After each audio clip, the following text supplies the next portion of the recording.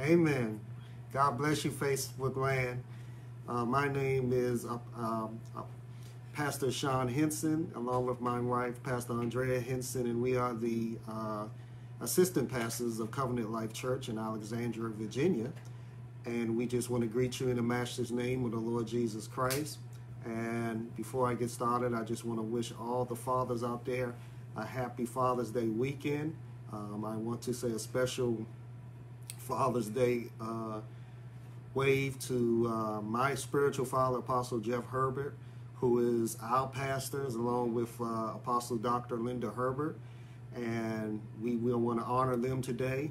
Also, I want to say a special hello to our father apostle, Apostle Leon Waters in Versailles, Indiana, in Christian National, in Christian International Central. And of course, for those of you who do not know, uh, we are ordained under Christian International. And so, before I get started, I'm gonna let my wife come, and she's gonna give you some announcements before we get started. God bless you. Hello, everyone, and welcome. Um, I would like to also say Happy Juneteenth to everyone. Um, it's just a great honor and a great day to celebrate Juneteenth. So, hopefully, you all have joined in some of the online festivities for it. Um, just before we get started, just wanted to let you know um, our website so that if you have missed past services, that you can go into our website and all of our services that have been um, videoed or live streamed through Facebook are available for you to view, as well as past services when we were even in the church. Our uh, our uh, sorry, our website is covenant-life-church.org. Again, covenant-life-church.org. In addition, we send out a weekly newsletter that gives updates to everyone about all of the events that's occurring and how to access all of our services that we're now doing um, via uh, Facebook or Zoom. If you don't receive the website, the, the newsletter, then please make sure you uh, submit your email in the reply or the comment section, and then we can get that to you as soon as possible.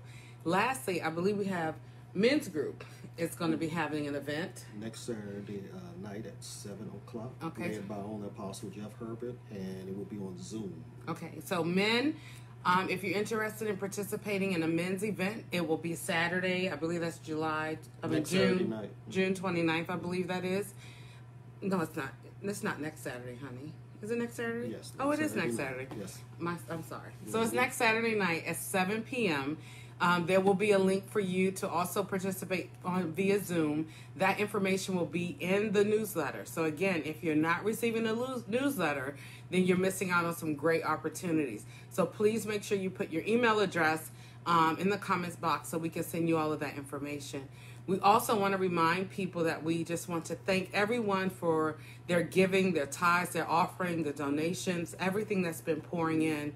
But even though we're not physically in our building, we still have physical uh, rent to pay and everything else. So if you are, are seeking to give donation or if you're unaware of how to, again, you can go to our website at covenant-life-church.org and make sure that you can um, have a variety of ways to donate um, via our website. You can either through pay through PayPal, um, bank transfer, credit card, um, and there's even a text to give number on there as well. So just many opportunities, and we just wanted to say thank you for all of your support. Thank you for all of your participation for uh, joining us tonight. And um, I think that's it. Amen. All right. All right. Okay. So, again, I just want to say my name is uh, Pastor Sean, and I'm going to talk about tonight, since it is Father's Day weekend, I'm just going to talk about honoring God, who is the Father.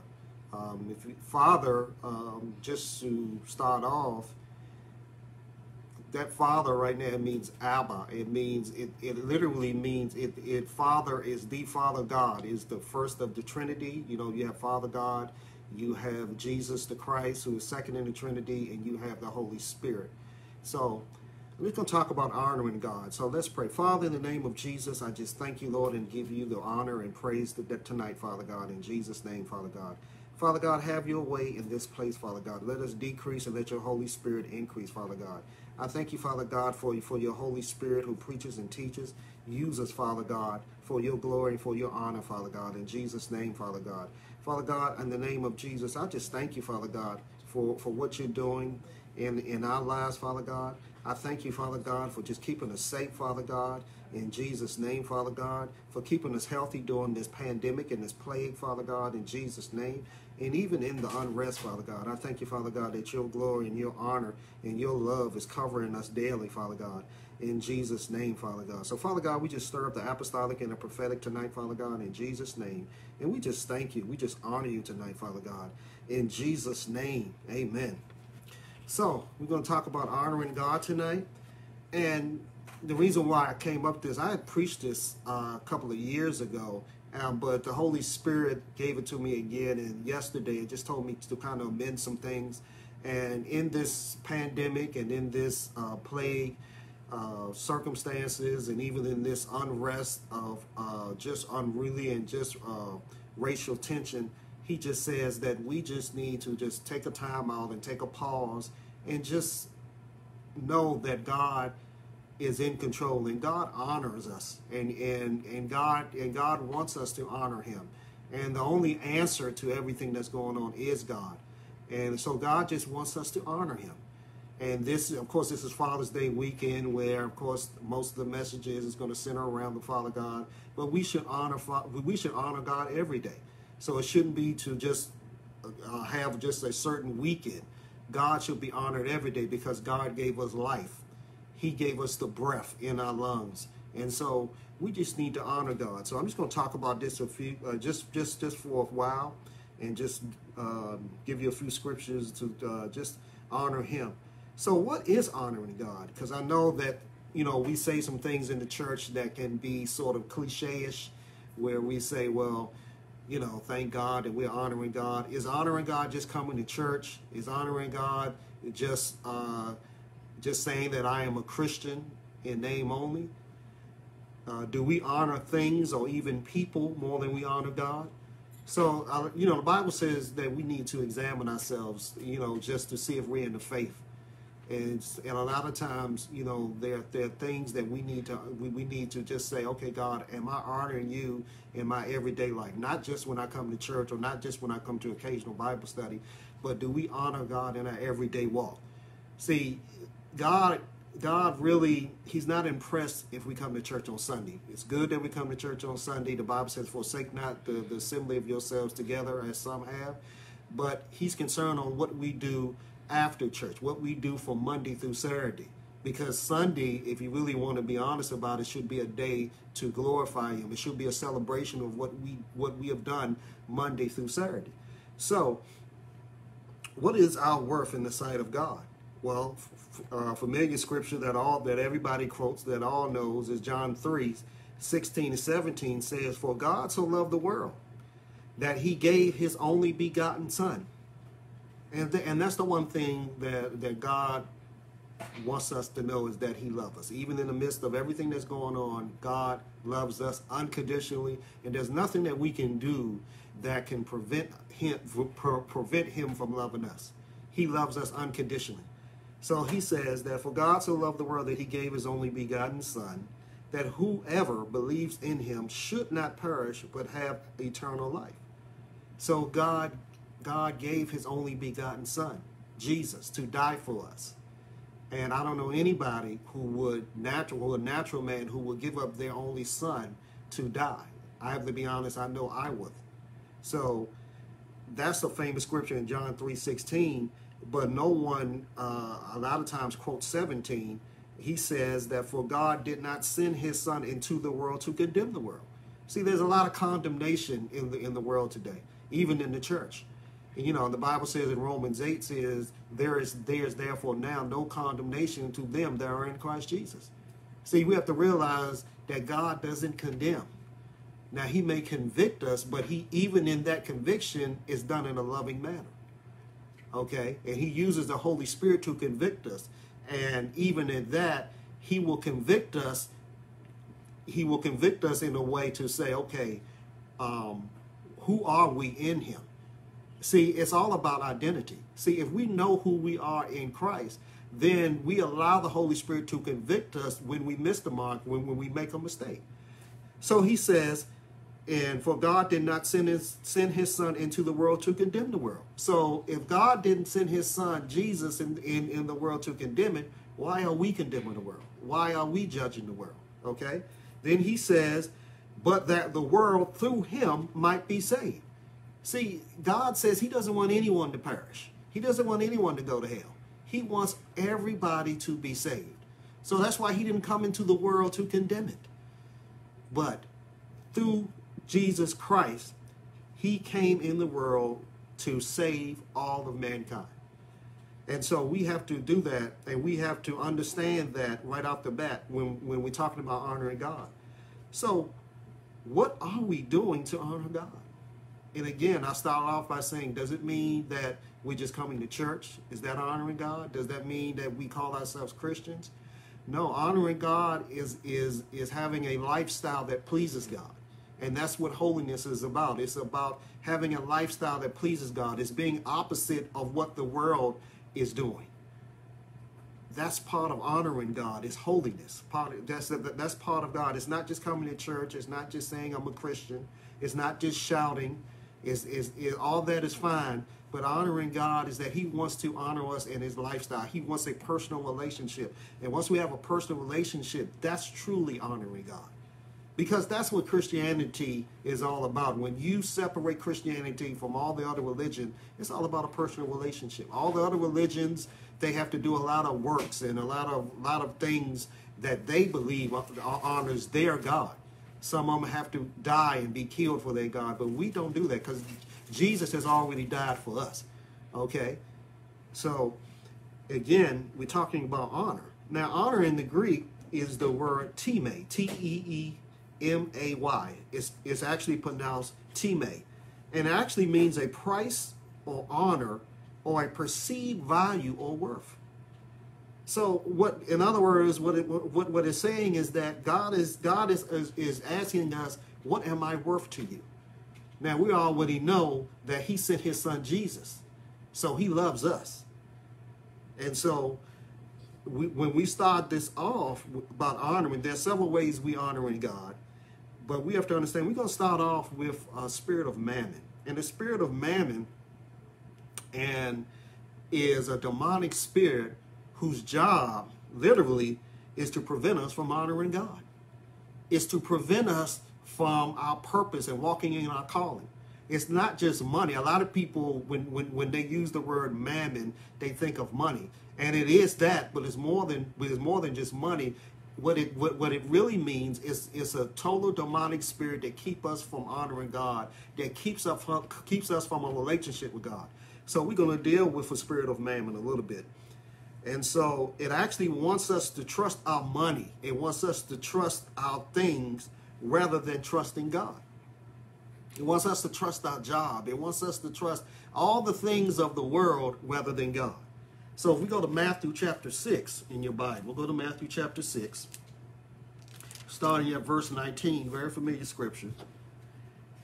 Jesus is talking here. He said, Do not lay up for yourselves treasures on earth, where moth and rust destroy, and where thieves break in and steal but, verse 20, lay up for yourselves treasures in heaven where neither moth nor rust destroys and where thieves do not break in and steal. Verse 21 says, For where your treasure is, there your heart will be also. So he talks about do not lay up for yourselves treasures. See, we have to be careful that everything that we accumulate in, in this world, and we have to understand that the Bible says in Matthew 6:33, "Seek ye first the kingdom, his way of doing things, his operation, his constitution. Seek ye first the kingdom of God and his righteousness, his way of doing the right way of doing things, and all these things shall be added." But even in that, we have to understand that those things are going to fade away. That car that you have, which is a blessing, is, is, is going to fade away and, and is going to rust. That house that God's been blessed you with one day is, is, is, is going to go. And all the things that we accumulate going to go. But only what we do for Christ is going to last. And so he says that do not lay up for yourself treasures on earth where moth and rust destroy and where thieves break in. and steal. He said, But lay up for yourself treasures in heaven where neither moth nor rust destroys and where thieves do not break in and steal. So those treasures in heaven um, is, is our relationship with God. That's something that, that no one can take away, our personal relationship with God. And that, that's, that's something that, that, that he's talking about. We need to have a mindset that, that, that our mindset has to be eternal and not on the things of this world and not and, and not of these things present. So he says that that where your treasure is there your heart will be also. So in other words what you think about what you treasure what you give value to that's where your heart is now if you give value to god and the things of god if you give value to the kingdom and his righteousness that's where your heart is but if you give values to things, if you give values to your car, if you give values to people, if you give a value to to your house or, or whatever things, then that's where your value is. And a lot of times we as a church, we've gotten Matthew 6.33 backwards. It says, Seek ye first the kingdom, but a lot of times we seek ye first things, and then when those things uh, go astray or we don't have them, then we try to seek the uh, the kingdom and the righteousness. No, he says, Seek ye first the kingdom. And then if you go on in that same Matthew 6, 14, in Matthew 6, uh, verse 24, he says, No one can serve two masters, for either he will hate the one and love the other, or else he will be loyal to the one and despise the other. You cannot serve God and mammon. You cannot serve God and mammon. In other words, he's saying that when you put God first, then the spirit of mammon can't come and try to take you away. If when, when we put God first, that spirit of mammon's job is to take you away from God. It's to take you away from that personal relationship with God. It's to it's to get you actually its job is to get you in the spirit of religion. You know, I preached um, a couple years ago about overcoming the spirit of religion. One of the things that that the spirit of religion does, and the spirit of religion is closely tied to the spirit of mammon. And one of the things that the spirit of religion does is basically it's a system that try that that that will take you away. It, it just gets you caught up all in the things and all of the religious duties that it will take you away from your personal relationship. It's just like in the book of Revelation when when Jesus was judging the church, one of the churches that he judged was, was the church of Ephesus. And the church of Ephesus, that's what was a great church. And the church of Ephesus did a whole lot of things. They discerned rightly, and they did a whole lot of great works, and they and they had the love of God in them, and they did a whole lot of things at first. But then, as time went on, that spirit of mammon came in, and that spirit of religion came in, and Jesus said that you've lost your first love. He said you've done a whole lot of things good, but you've lost your first love. Your first love meaning that you've lost that personal intimacy and relationship with me. And that's what God is is trying to get the church back to. And when we get the church back to a personal relationship, then we'll be ready for that great revival of when the world comes in and we can uh, demonstrate the kingdom to them by the love of the Father, by the love of God. So you have to understand that that mammon takes us away from that personal relationship. Mammon wants us mammon takes takes us away from our purpose and our vision toward God. And that's his job. And we have to battle. It's a constant battle against that every day. It's because mammon doesn't want us to get up and pray every day. Mammon doesn't want us to read the word. Mammon doesn't want us to to uh, speak in tongues every day to you know to get that to, to get that energy to get that power from God. Mammon doesn't want us to seek God early in the morning or whenever we have a chance. So that's Mammon's job, and that's something that we have to bind and we have to fight with every day. And if we want to go to that mature church, we if we want to go to that place where God is pleased with us and seek God with all our heart, then we have to bind and we have to constantly do that spiritual warfare against that spirit of mammon. So number one, we miss our blessings when we don't honor God first in our finances. Okay? Um, Proverbs 3, 9, verses 9 and 10, and this is in the Passion Translation. It says, Glorify God with all your wealth, honoring Him with your very best, with every increase that comes to you. Now, why am I starting off with finances? Because we have to understand that if you really want to know where a person's heart is, all you got to do is find out what they're doing with God's money. Okay, now you have to understand the Bible says plainly that, that God owns everything. Okay, God owns the world, He owns a cattle of a thousand hills. And so I'm starting off with finances because if we really want to know where our heart is, then we have to start with our finances. And so he says, glorify God with all your wealth, honoring him with your very best, with every increase that comes to you. Then every dimension of your life will overflow with blessings from an uncontainable source of inner joy. That's Proverbs 3 9 through 10, the Passion Translation. See, that's why, see, if we honor him with our finances, all the other things in our life, it says, will, will, will fall in line. He says that every dimension of your life will overflow with blessings from an uncontainable source of inner joy. So that's why finances is important. That's why we need to honor God with our finances first and, and honor God with our tithes, honor God with our offerings and our alms. Because once, once we honor God with that, then all the other things will fall in line. Amen. So, another uh, key to honoring God is seeking the wisdom of God. Seeking God's wisdom is one of the keys to honoring God. We have to seek the wisdom of God. You know, my wife preached a message a couple of weeks ago. It's called You Need to Get to Know Her. Powerful message, and you can go back and listen to that whenever you have a chance. Go on our website. And that wisdom is something that if we seek it properly, we seek the word and we seek his wisdom, we seek the bible says wisdom is the principal thing and in all that you are getting get understanding. So once we seek his wisdom then that's how we're honoring god. And so um, if we go to first kings chapter 3 first kings chapter 3 we're going to see that uh, seeking god's wisdom is the key to honoring god. Wisdom is so important and definitely in these days that we're living in and so, First Kings uh, chapter 3, and this is about Solomon, when Solomon had made a treaty or alliance with the king, with Pharaoh, the king of Egypt. And he had married uh, Pharaoh's daughter and brought her back to the city of David. So God came to Pharaoh in a dream and said, and actually, uh, if we go First Corinthians, I mean First Kings 3, and starting at verse 5, it says, At Gibeon, the Lord appeared to Solomon in a dream by night, and God said, Ask, what shall I give you? And Solomon said, You have shown great mercy to your servant David, my father, because he walked before you in truth, in righteousness, and in uprightness of heart with you. You have continued this great kindness for him, and you have given him a son to sit on his throne as it is this day.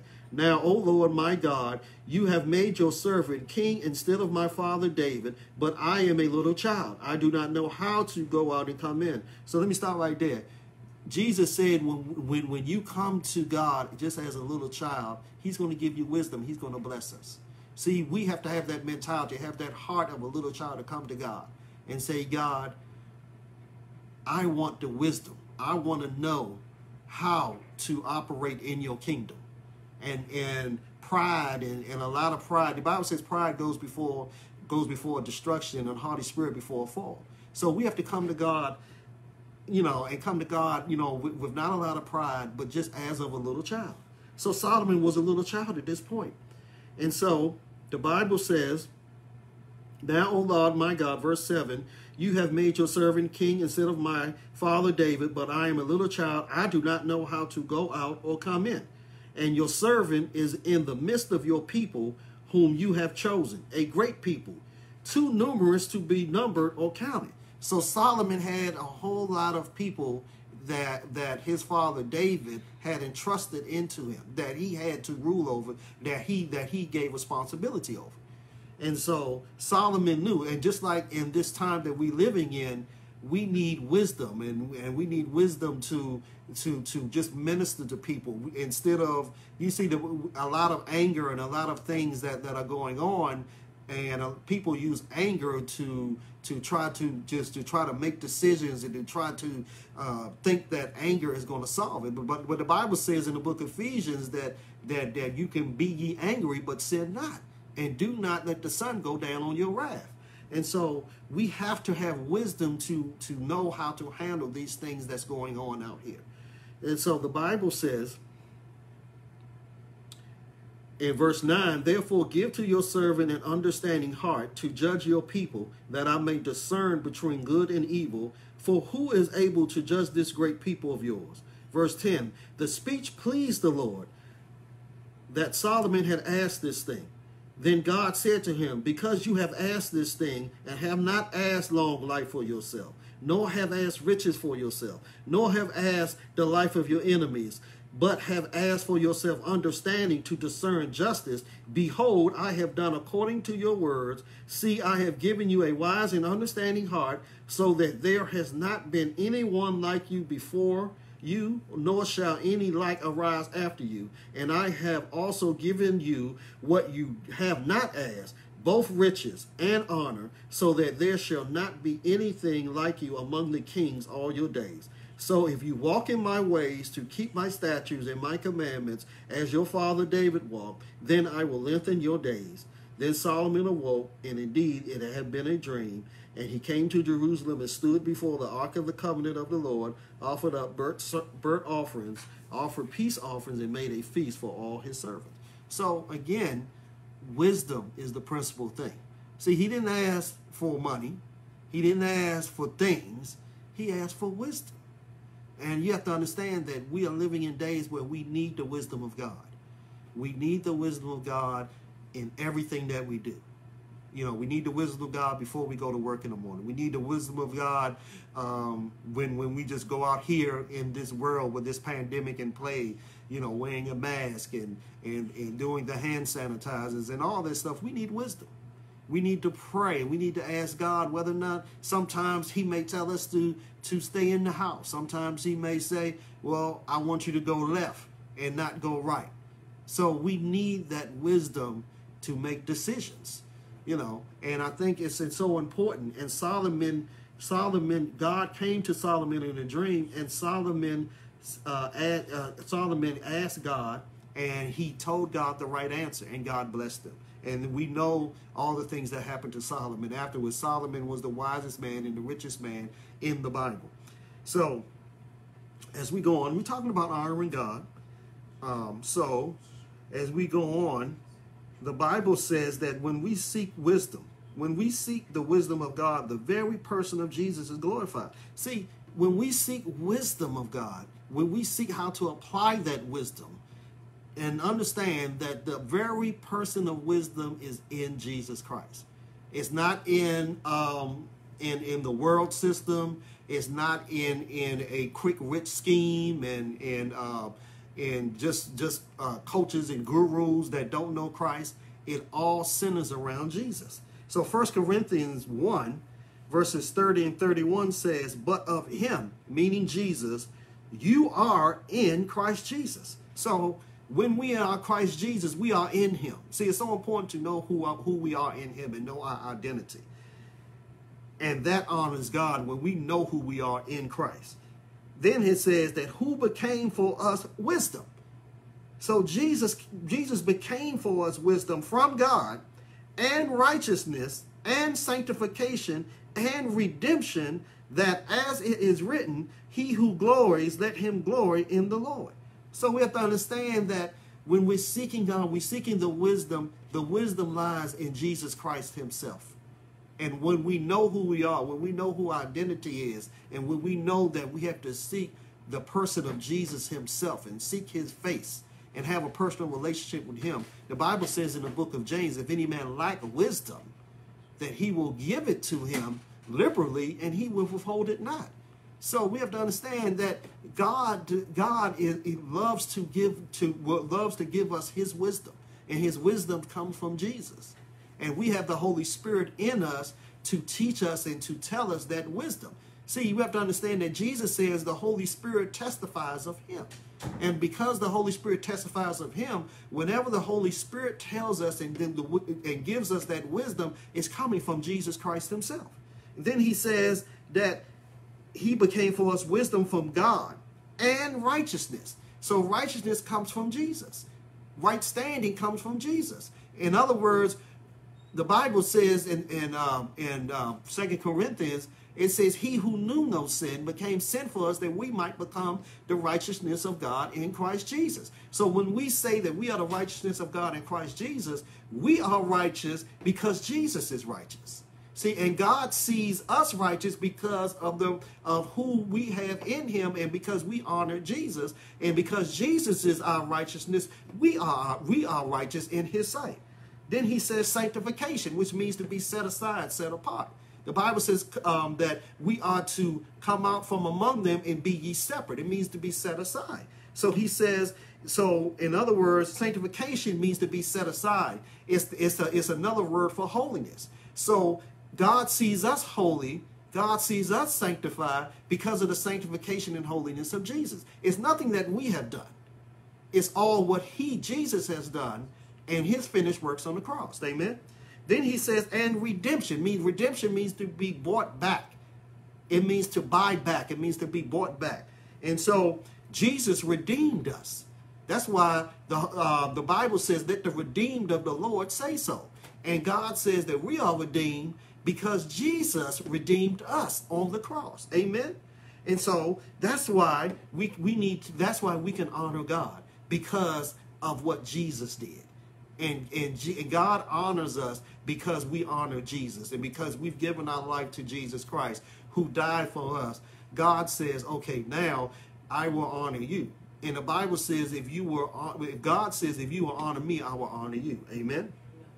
So, as we go on, Proverbs 13, 18 in the New Living Translation says, well, when we heed to godly counsel and correction, God promised us he will honor us. So Proverbs 13, 18 in the New Living Translation says that if you ignore criticism, you will end in poverty and, and disgrace.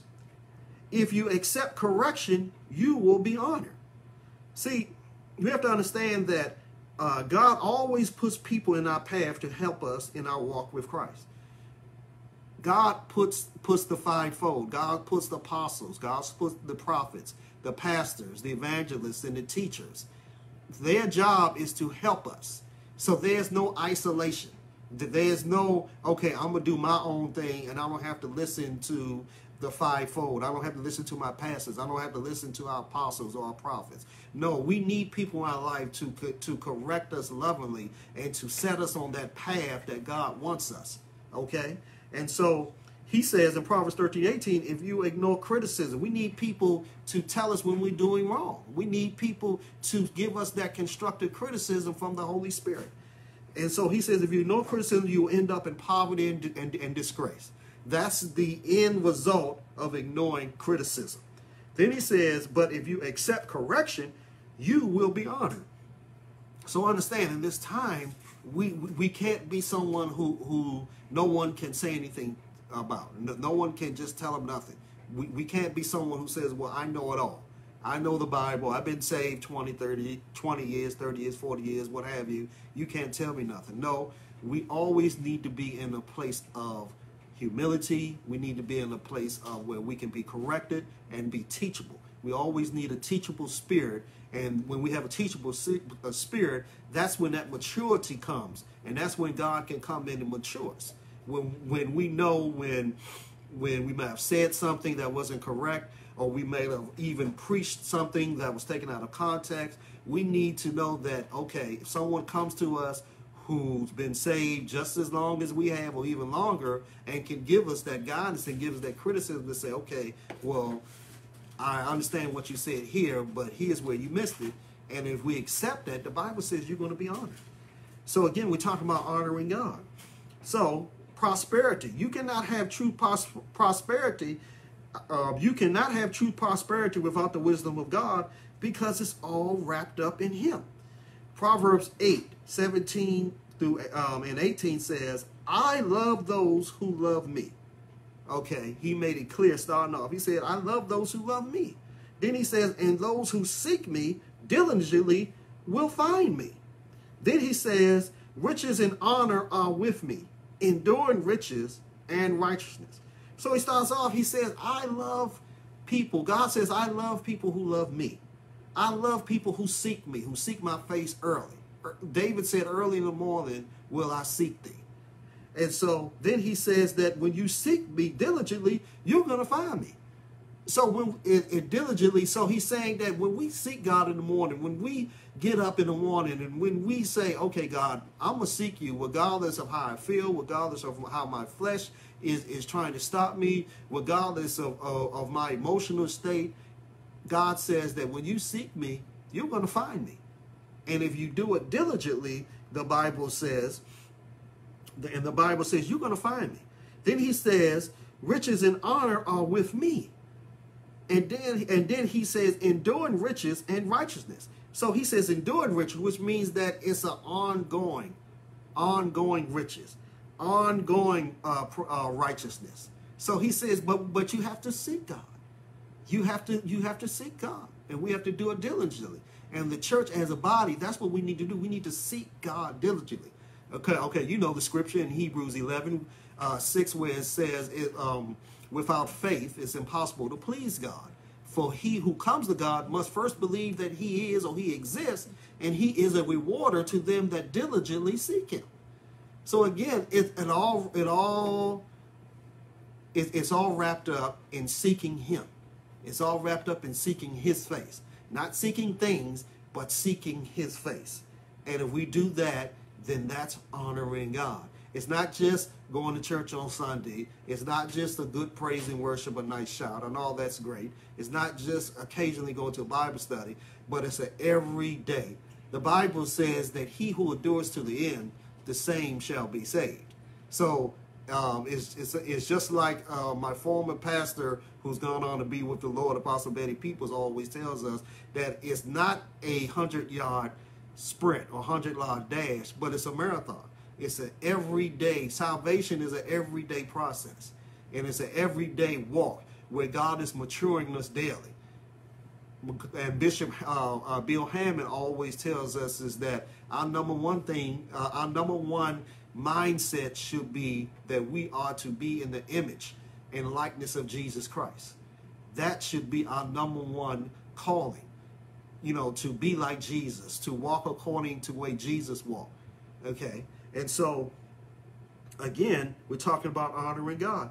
Proverbs 22 4 in the Passion Translation says, laying your life down in tender surrender before the Lord will bring life, prosperity, and honor as your reward.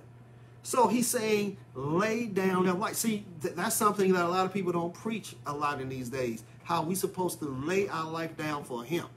Okay? See, you have to understand that when we got saved, the Bible says that our, that we don't belong to ourselves no more, but we belong to Him. See, Paul says that that our bodies um, belong to the Holy Spirit, and we don't belong to us. When Jesus died on the cross, He purchased us through His blood, and He redeemed us through His blood. So we do not belong to us. We do not belong to ourselves anymore, but we belong to Him. So our allegiance is to Jesus Christ. See, when we was out in the world, our allegiance was to Satan, was to the world system. But when we came and accepted Jesus, now we are the kingdom of God. Now our allegiance is totally to God, and our totally to Jesus Christ. We don't belong to ourselves no more. And he says, laying your life down. We have to lay our life down daily. Take up our cross and follow him. Whatever cross that may be, we need to take it up daily, uh, Jesus said, and follow him. And then he says surrendering. We have to surrender. We have to wave the white flag, as our apostle Dr. Linda always says. We have to wave the white flag and say, God, I surrender all to you. Okay? Then he says that when we do that, guess what? It's going to bring life. It's going to bring uh, uh, prosperity. It's going to bring honor. And so we have to understand life, life comes through Jesus Christ. John 14, 6. I am the way, the truth, and the life. No man come to God except through through the Father, through through You know, so we have to understand life comes through Jesus.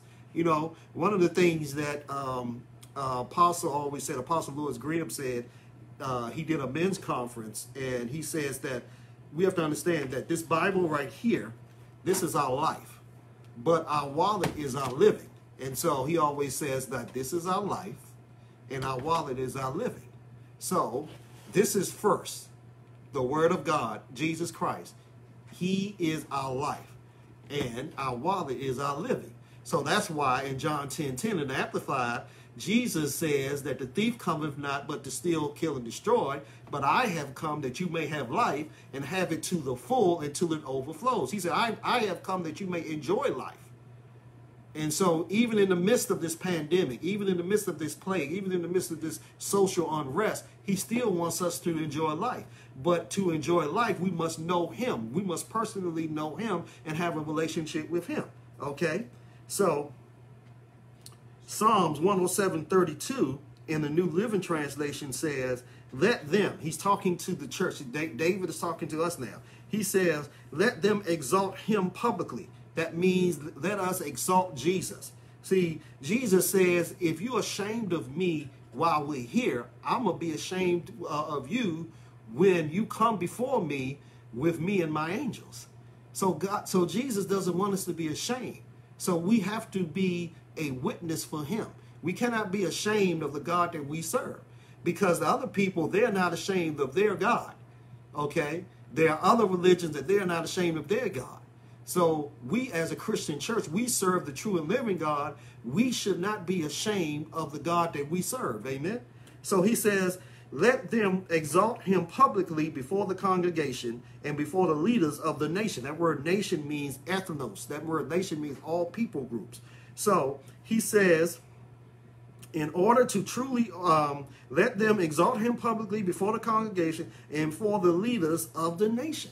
So God says he wants us to publicly acknowledge him. How, how can we publicly acknowledge uh, Jesus when we are in this world?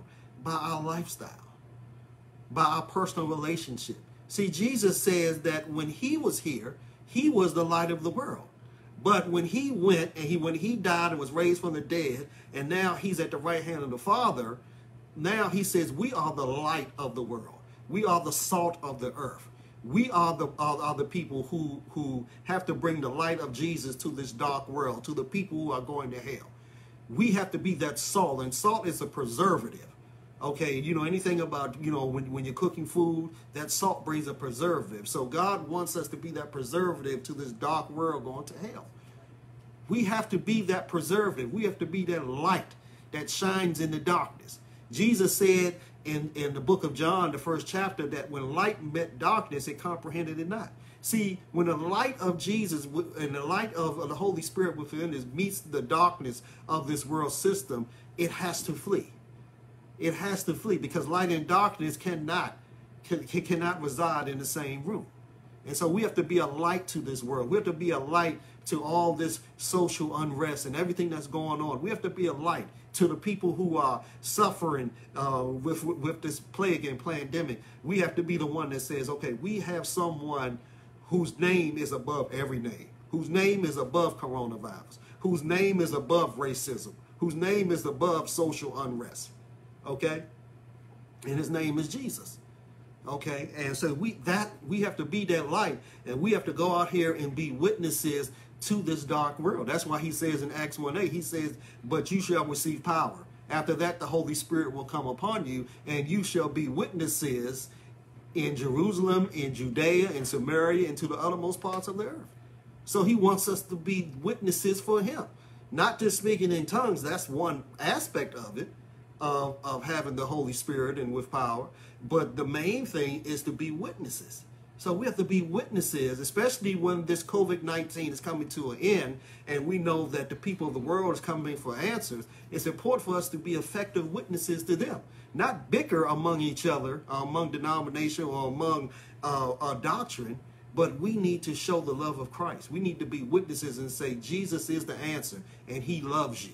See, when the world comes in, they don't want to hear a bunch of bickering and a bunch of uh, um, okay, well, you belong to this congregation, or you belong to this denomination, or, or I believe this. No, they want to know, okay, what does Jesus have for me?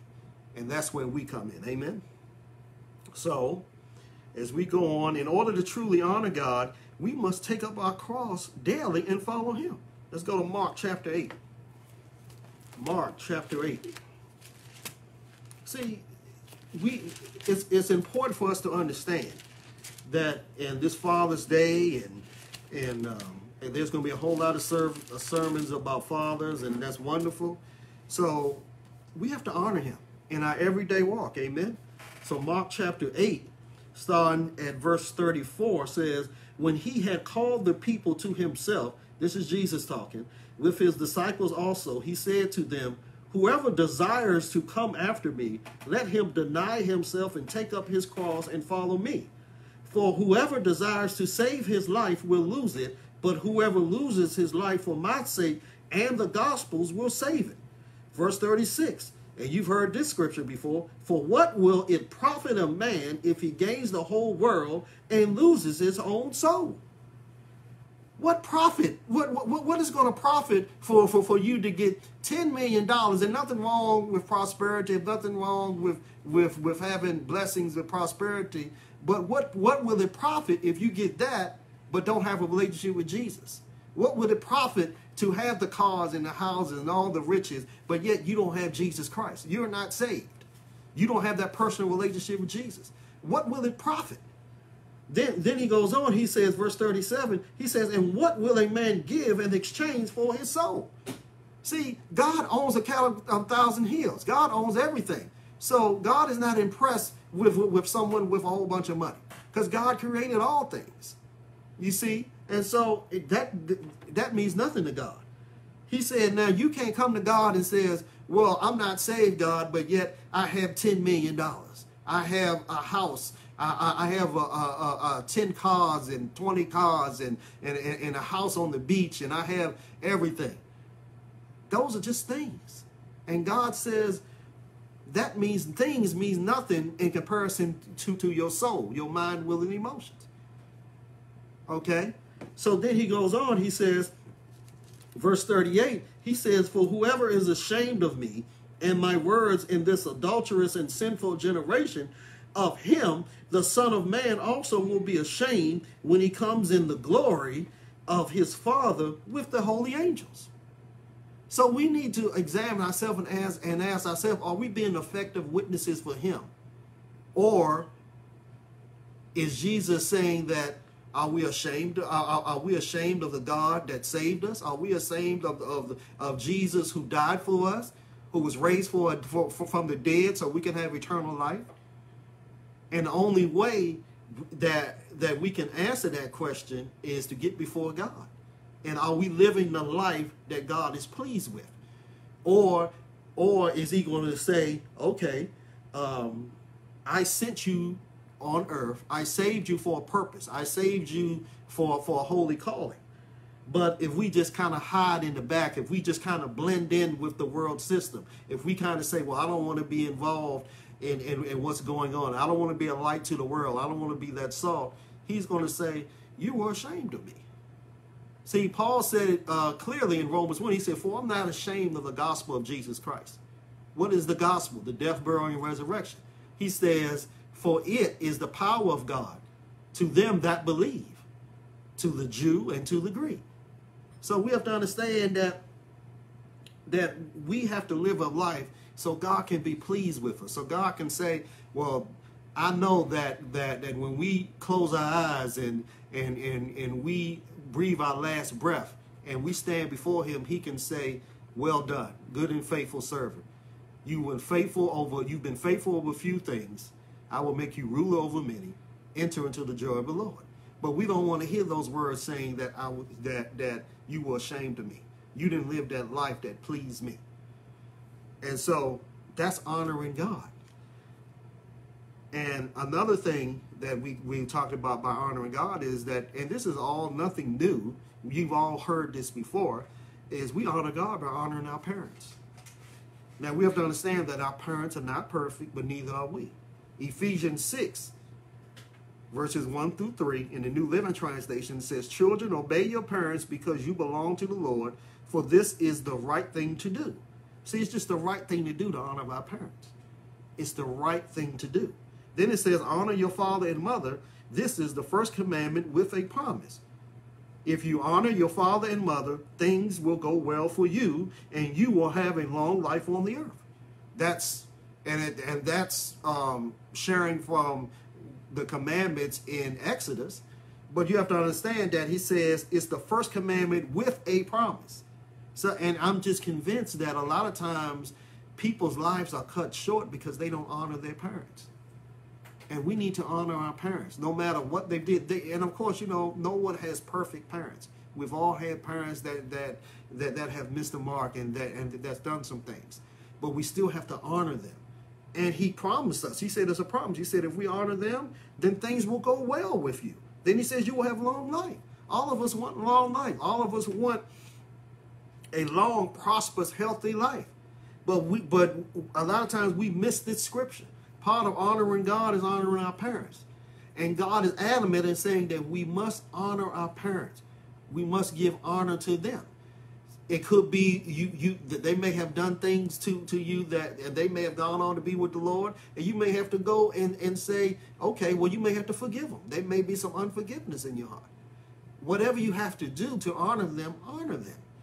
And God says, if you honor your parents, then I'm going to give you uh, a long life on this earth. And so we have to be uh, careful about pride. I talked about it earlier about how pride goes before a destruction and a haughty spirit before a fall. Pride and self exaltations, uh, a self centeredness, keeps us from fully honoring God. Let's go to Daniel, Daniel chapter 4. Daniel chapter 4. And see, we, we have to, these are the days where um, I heard uh, there, there's a lot of uh, preachers on Facebook, and there, there are a lot of things going on, and there are a lot of people preaching some great things. And so, Daniel chapter 4, we have to understand that that that that pride Pride will stop stop us from honoring God all the time. Pride and self-centeredness will stop us all the time from honoring God. So in Daniel chapter 4, now this is um, Nebuchadnezzar, and this is when uh, Nebuchadnezzar became the king. And verse 28 says, all this came upon, now you have to understand that Nebuchadnezzar, uh, God had blessed them with, with, with riches and, and God had blessed them with, with, with a whole lot of great things. We talked about things. And so, but there was a prophet who said that if you don't honor God about what God has blessed you with, he says that that that the, that the uh, prophet came and says that they shall drive you from men, and your dwelling, verse 25, he says, They shall drive you from men, and your dwelling shall be with the beasts of the field, and they shall make you eat grass like oxen. They shall wet you with the dew of heaven, and seven times shall pass over you till you know that the Most High rules in the kingdom of men and gives it to whomever he chooses. And insomuch as they give, as they gave the command to leave the stump and the roots of the tree, your kingdom shall be assured to you after you come to know that heaven rules. Therefore, O king, let my advice be acceptable to you. Break off your sins by being righteous and your iniquities by showing mercy to the poor. Perhaps there may be a lifting of your prosperity. So you have to understand, God had blessed this man. God had blessed this king. But the prophet came. That's why it's so important to, to heed the word of the prophetic. That's, that's why we need the apostles. We need the prophetic word.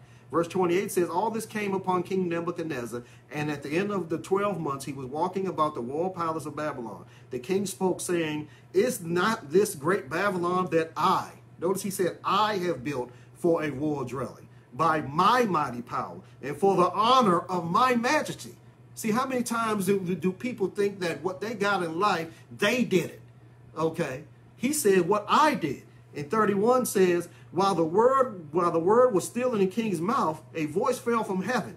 King Nebuchadnezzar, to you it is spoken, the kingdom has departed from you, and they shall drive you from men, and your dwelling shall be with the beasts of the field.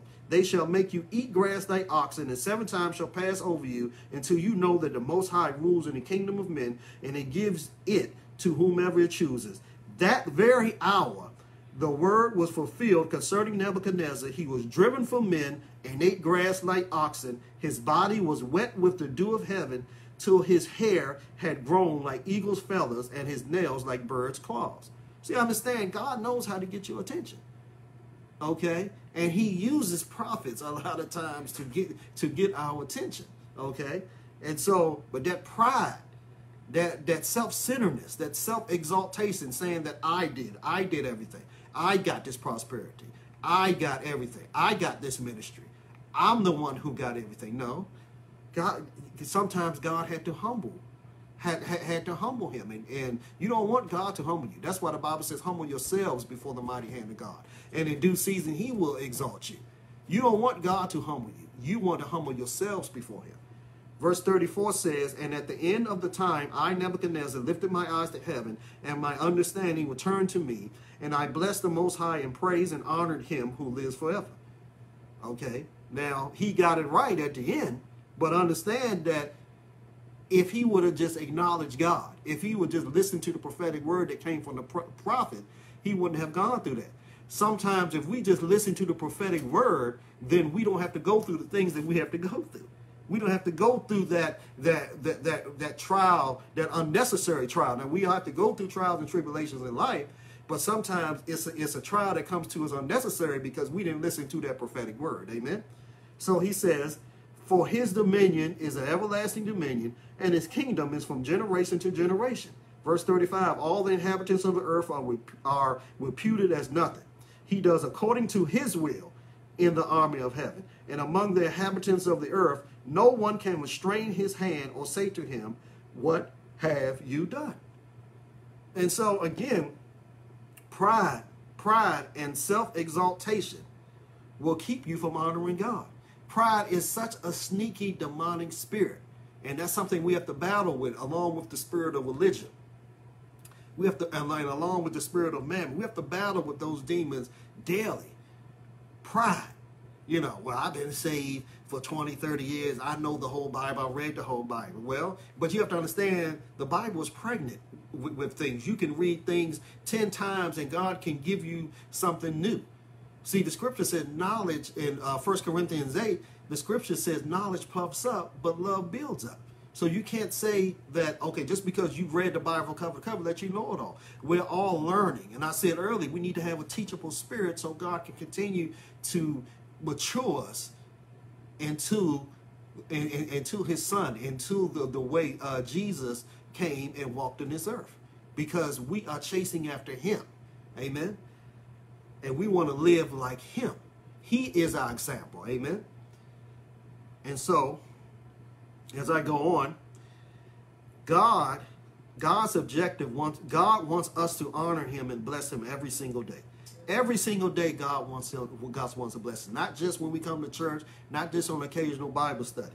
In uh, the book of Psalm 71, verses 5 through 8, and this is the Living Bible translation, it says, "O Lord, you alone are my hope. See, God is our hope.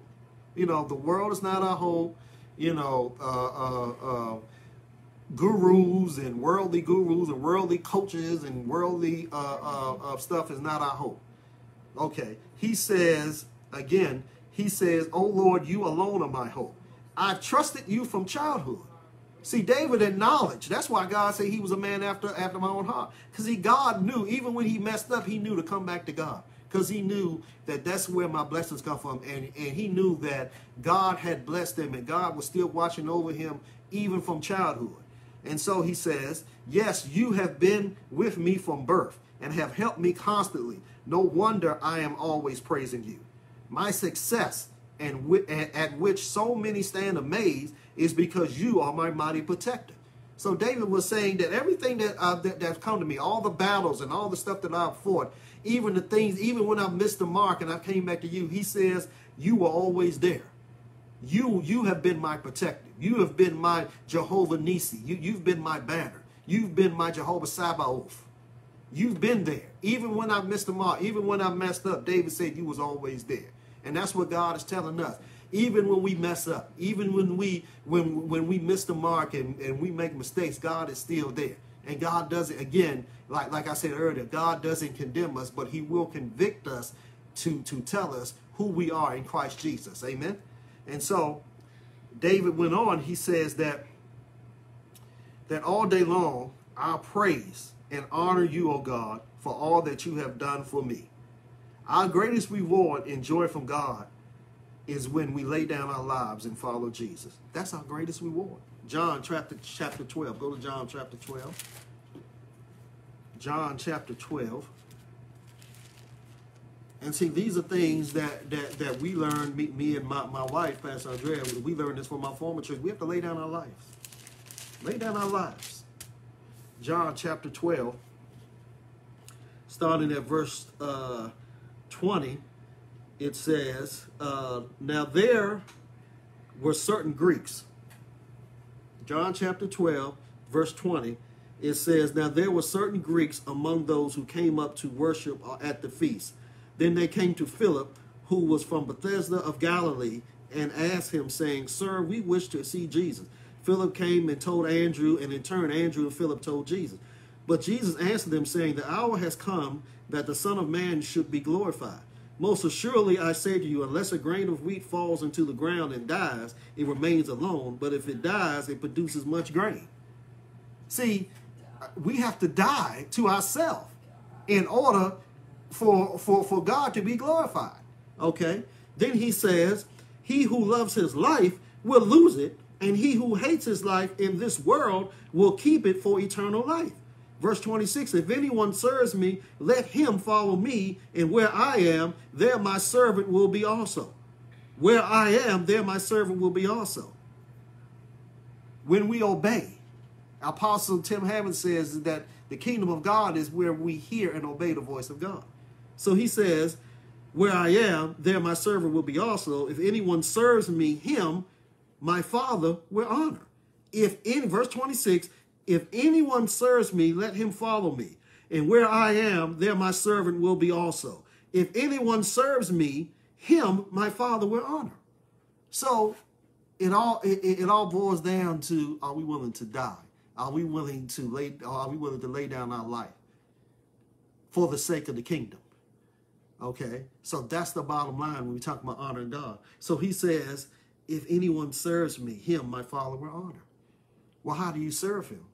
By laying down your life for the sake of him, for the sake of the kingdom of God. Amen. So the last thing, as I wrap up, and I want to thank God for everybody on Facebook. I want to thank God for our pastors and all everyone who's tuning in. And so are we honoring our leaders? Are we honoring the people who, who God put over our life?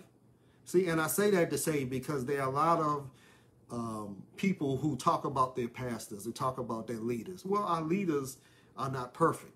They're human just like we are. But there was a reason why God put them over our life. Everyone needs a pastor. Everyone needs a spiritual oversight. Okay, just like in Ephesians 4:11, I always talk about, and he gave some apostles, he gave some prophets, he gave some pastors, evangelists, and teachers for the work of the ministry. So, you know, so we have to understand that when we talk about our pastors, talk about our leaders, and and think that, oh well, you know, they put on their pants just just like we do. Well, we have to understand that there's a reason why that that that, that God put them over our lives. We have to honor our leaders. We have to honor our, our, our pastors. We have to honor uh, the people who God puts over us because when we honor them, God will honor us. Amen. The scripture says in Hebrews 13 17, in the Passion Translation, it says, Obey your spiritual leaders and recognize their authority, for they keep watch over your soul without resting, since they, now watch this, since they will have to give an account to God for their work. They have to give an account. And so that's why it's so important to pray for them on a daily basis, to lift them up, not talk about them and not and and, and because if you talk about them sooner or later, guess what happens? That that that Jezebel spirit will come in, and to think that you can do it better than they. Well, if you could do it better than they, then God would have put you over them. Okay, So he says that they they they will have to give account to God for their work. So it will benefit you when you make their work a pleasure and not a heavy burden. See, you have to understand that when we pray for them, when we honor our leaders, when we lift them up in prayer, when when, when we understand to them, when we submit to their, when, when we recognize their authority, guess what? Their work is not a burden, but it's but but it's a pleasure to God. And then God will honor us for honoring them. See, Paul said it. Paul said, imitate me as I imitate God. Follow me as I follow Christ. Okay? So that, that that's biblical. And as I end, the Bible says it is our duties as Christians to honor God as well as all men. So among all this social unrest, all this this uh, racial tension, and everything that's going on, the Bible says in 1 Peter 2:17, it says, honor all people. Love the brotherhood. Fear God. Honor the king. And our king is Jesus. So it says, honor all people. Remember in Acts 17, verse 25 and 26, the Bible says that he made us out of one blood. We came from one blood, meaning Adam. And so we're all one in him. There's only one race, it's the human race. Okay. And so he says, honor all people, love the brotherhood. First of all, as a church body, we have to love our brothers and sisters in Christ before we can love the world. Because if we're bickering among ourselves and bickering among um, just we can't even get along with our own brothers and sisters in Christ, how are we supposed to love the world who don't know Jesus, who are going out here and in, in, under the guise of Satan? Under, uh, so we have to love the brotherhood, love the sisterhood love our brothers and sisters in the Lord first. Then when when the world and when the people of the world come in, then we can show them the love of Christ as as they see us love one another. See, Jesus said it plainly in John 13. He says, A new commandment I have given you that you love one another as I have loved you. He said, By this you are my you are made my disciples. In other words, he says that if we love our brothers and sisters in Christ, then he says, and understand that I love you. He says, love them just as I love you. Then you are made my disciples by the love that you have for one another. He says it's a new commandment I've given you. Okay? Everybody talks about, well, I'm not under the law. I'm, I'm not under the commandments. Well, we are under the commandment of love. We are, are we, we are all still under the commandment. We I know we're under grace, but we are under the commandment of love. We are to love one another. That's why Paul says in Romans 13, owe no man anything but to love him. Amen. So we need to love one another. Okay? And so we have to understand that as I close, we as the church must get ourselves ready for the soon and coming king. In order for that to happen, we have to love one another. We have to mature. We have to allow the fivefold ministries, the apostles, the prophets, the teachers, the pastors, the evangelists to mature us to give us that word, to, to mature us in the ministry, to activate us in our gifts and our calling, and whatever God has called us to do, and to apostolically send us out into where God has called us to be.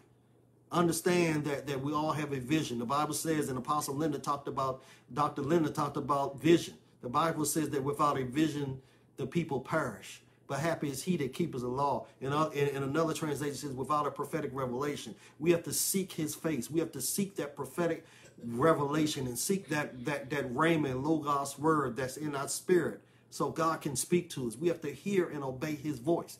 Jesus said, My sheep hear my voice, and, and a stranger they will not follow. And so we have to hear and obey his voice. Because when we hear and obey his voice, that's where the kingdom is.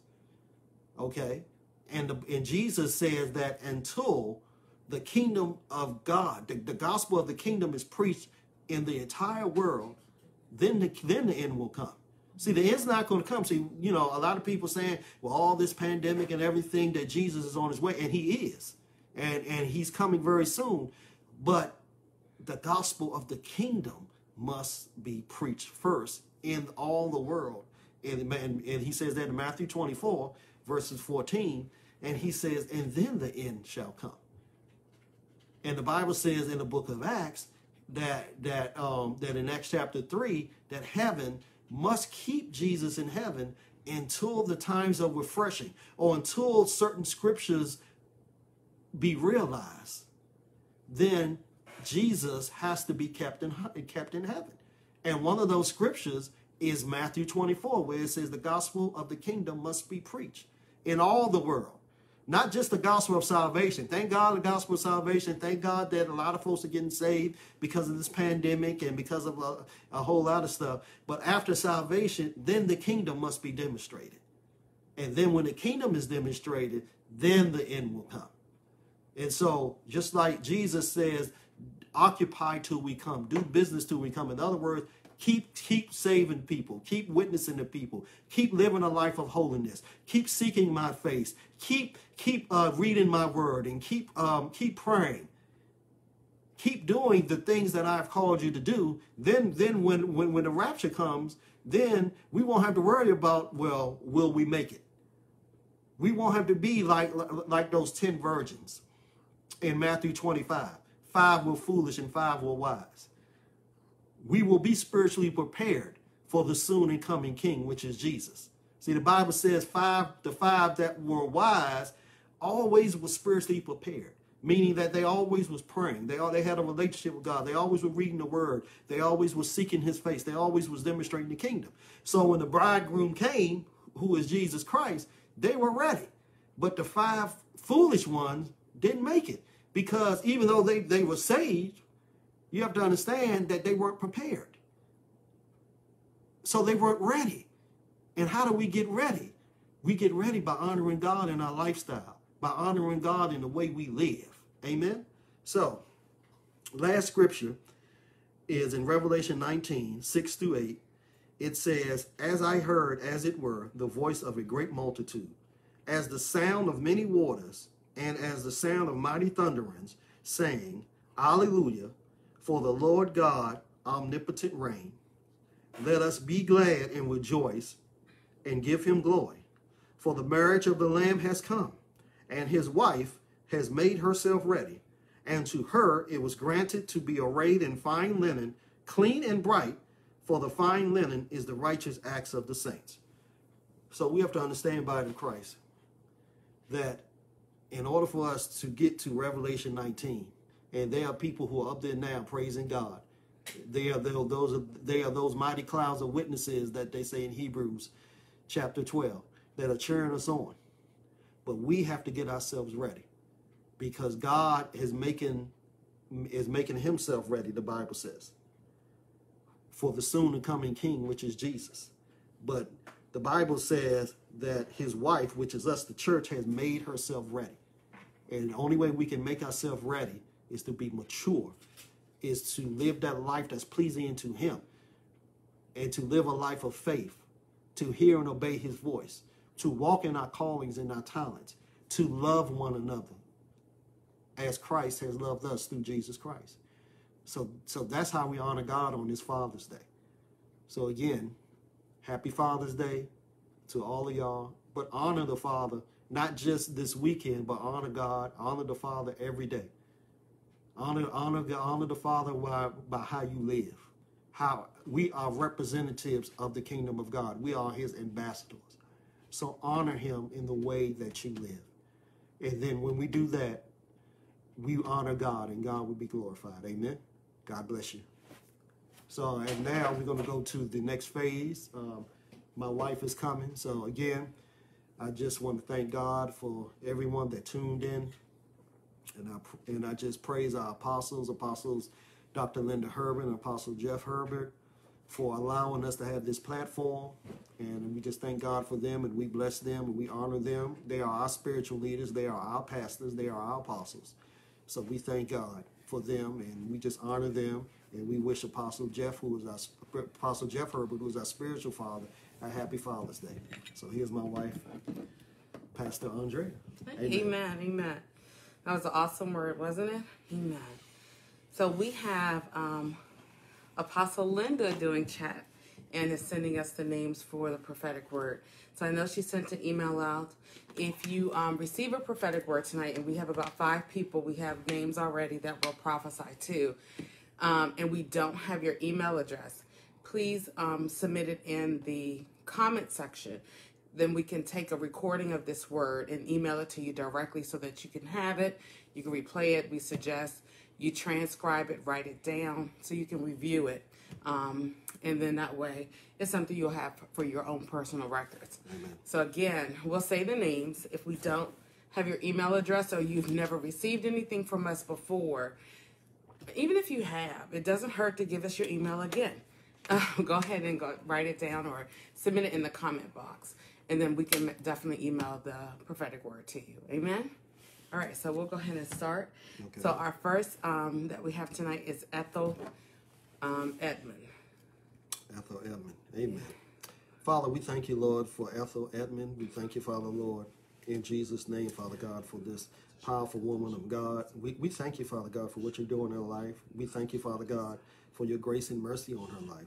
And God says that, that there's there's been a lot of of things that, that he's doing with your life. And God says that, that you've been called to a mighty work, that you've been called to the office of the prophetic ministry in Jesus' name, Father, office of the prophetess. And God says that that he loves you.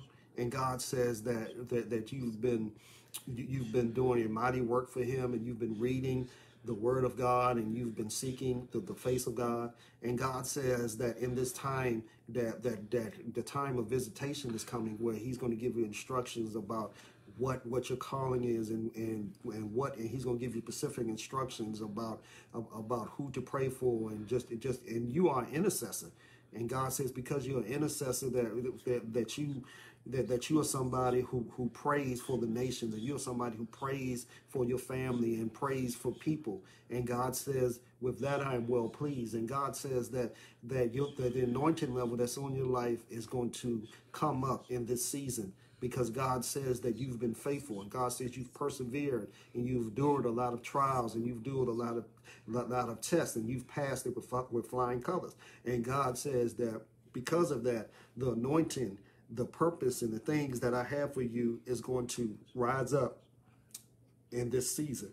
And God says that you've been asking me for things and asking me for, for different things in your prayers.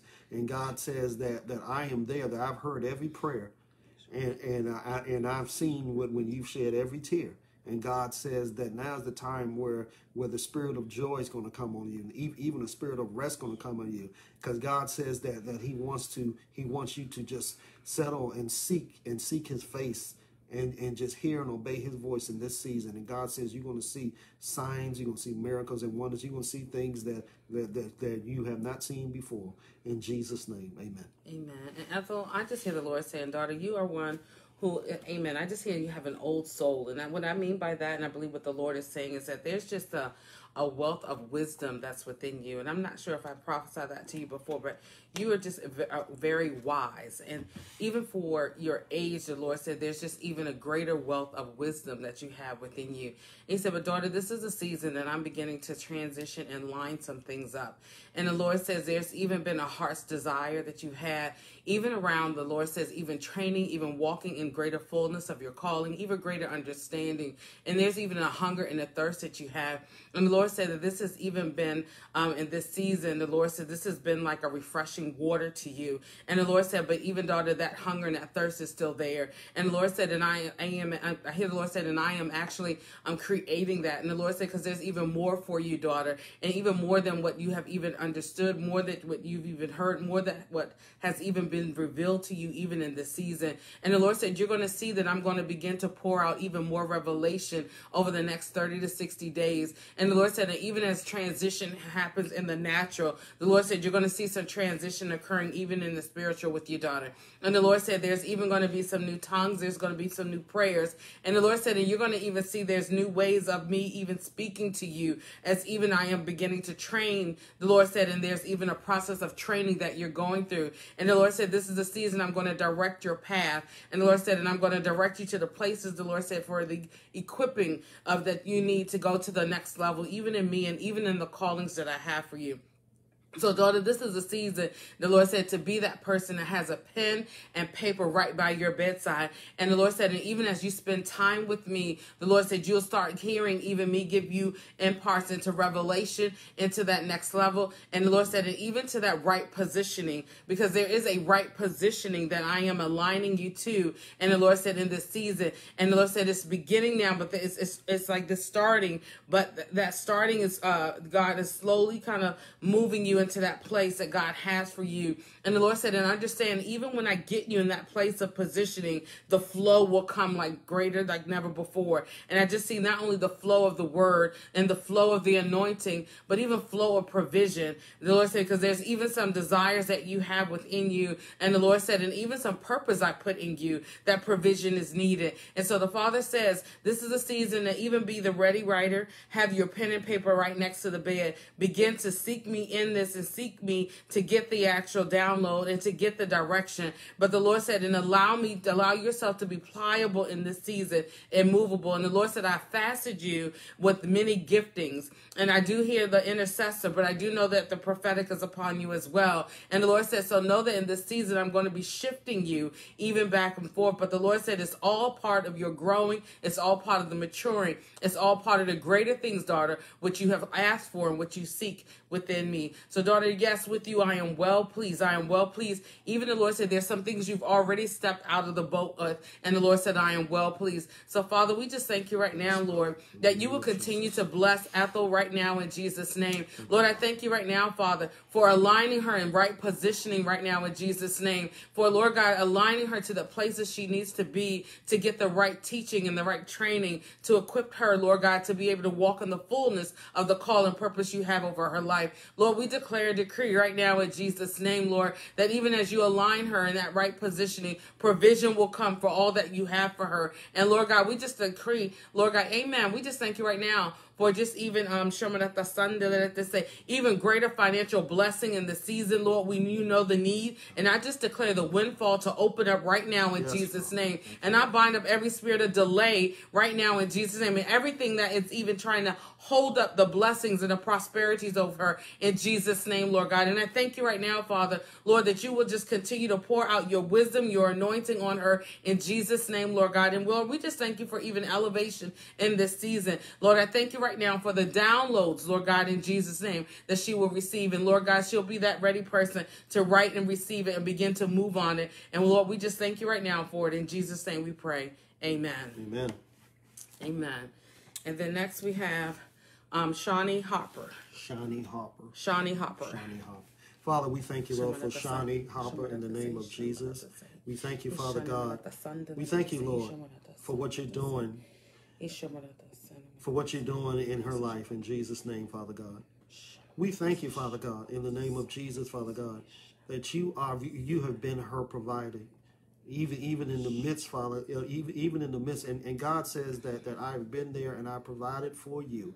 And God says, I will continue to be your Jehovah Jireh and provide for you. And, and God says, because you've honored me first. God says that even even tonight that, that, that you have heard this lesson and God says you under you understand about honoring. And God says, Yes, Lord, I'm gonna honor you because you've honored me. And God says that that that, that, that you are one who who honors me with with your lifestyle that, that, that you are a person who lives a holy lifestyle in, in front of me and god says with that i'm well pleased and god says that, that now you are seeking me for greater revelation you are seeking me for a greater uh, uh, purpose and vision and God says, I'm going to give you that in, in this season because God says that you have endured. And God says that you, you, you've done the footwork and you've done what I've asked and you've obeyed me even in times of famine, even in times where where you, you didn't know where where where the, where, where the next dollar coming from, and even when you didn't know where the, where the next provision is coming from. But God says that, that, that you've even given that widow's mite. And, and God says, with that I'm well pleased. And God says that now I'm going to open the floodgates in your life. And not just uh, materially but spiritually. And god says that that he's going to raise you up in this season. Because god says he's well pleased with you and god said he's well pleased on how you seek me. Because god says that you seek me as you seek me with you seek me with all your your strength and might and your heart. God says that that he's that he's going to honor you back And God says, when you seek me diligently, you will find me. And God says that that, that you hear my voice. And God says that that, that you are one who is pliable. You you are one that's that's that's that's teachable, and you are one that, that that's going to be that end time remnant in these last days to honor and bless me.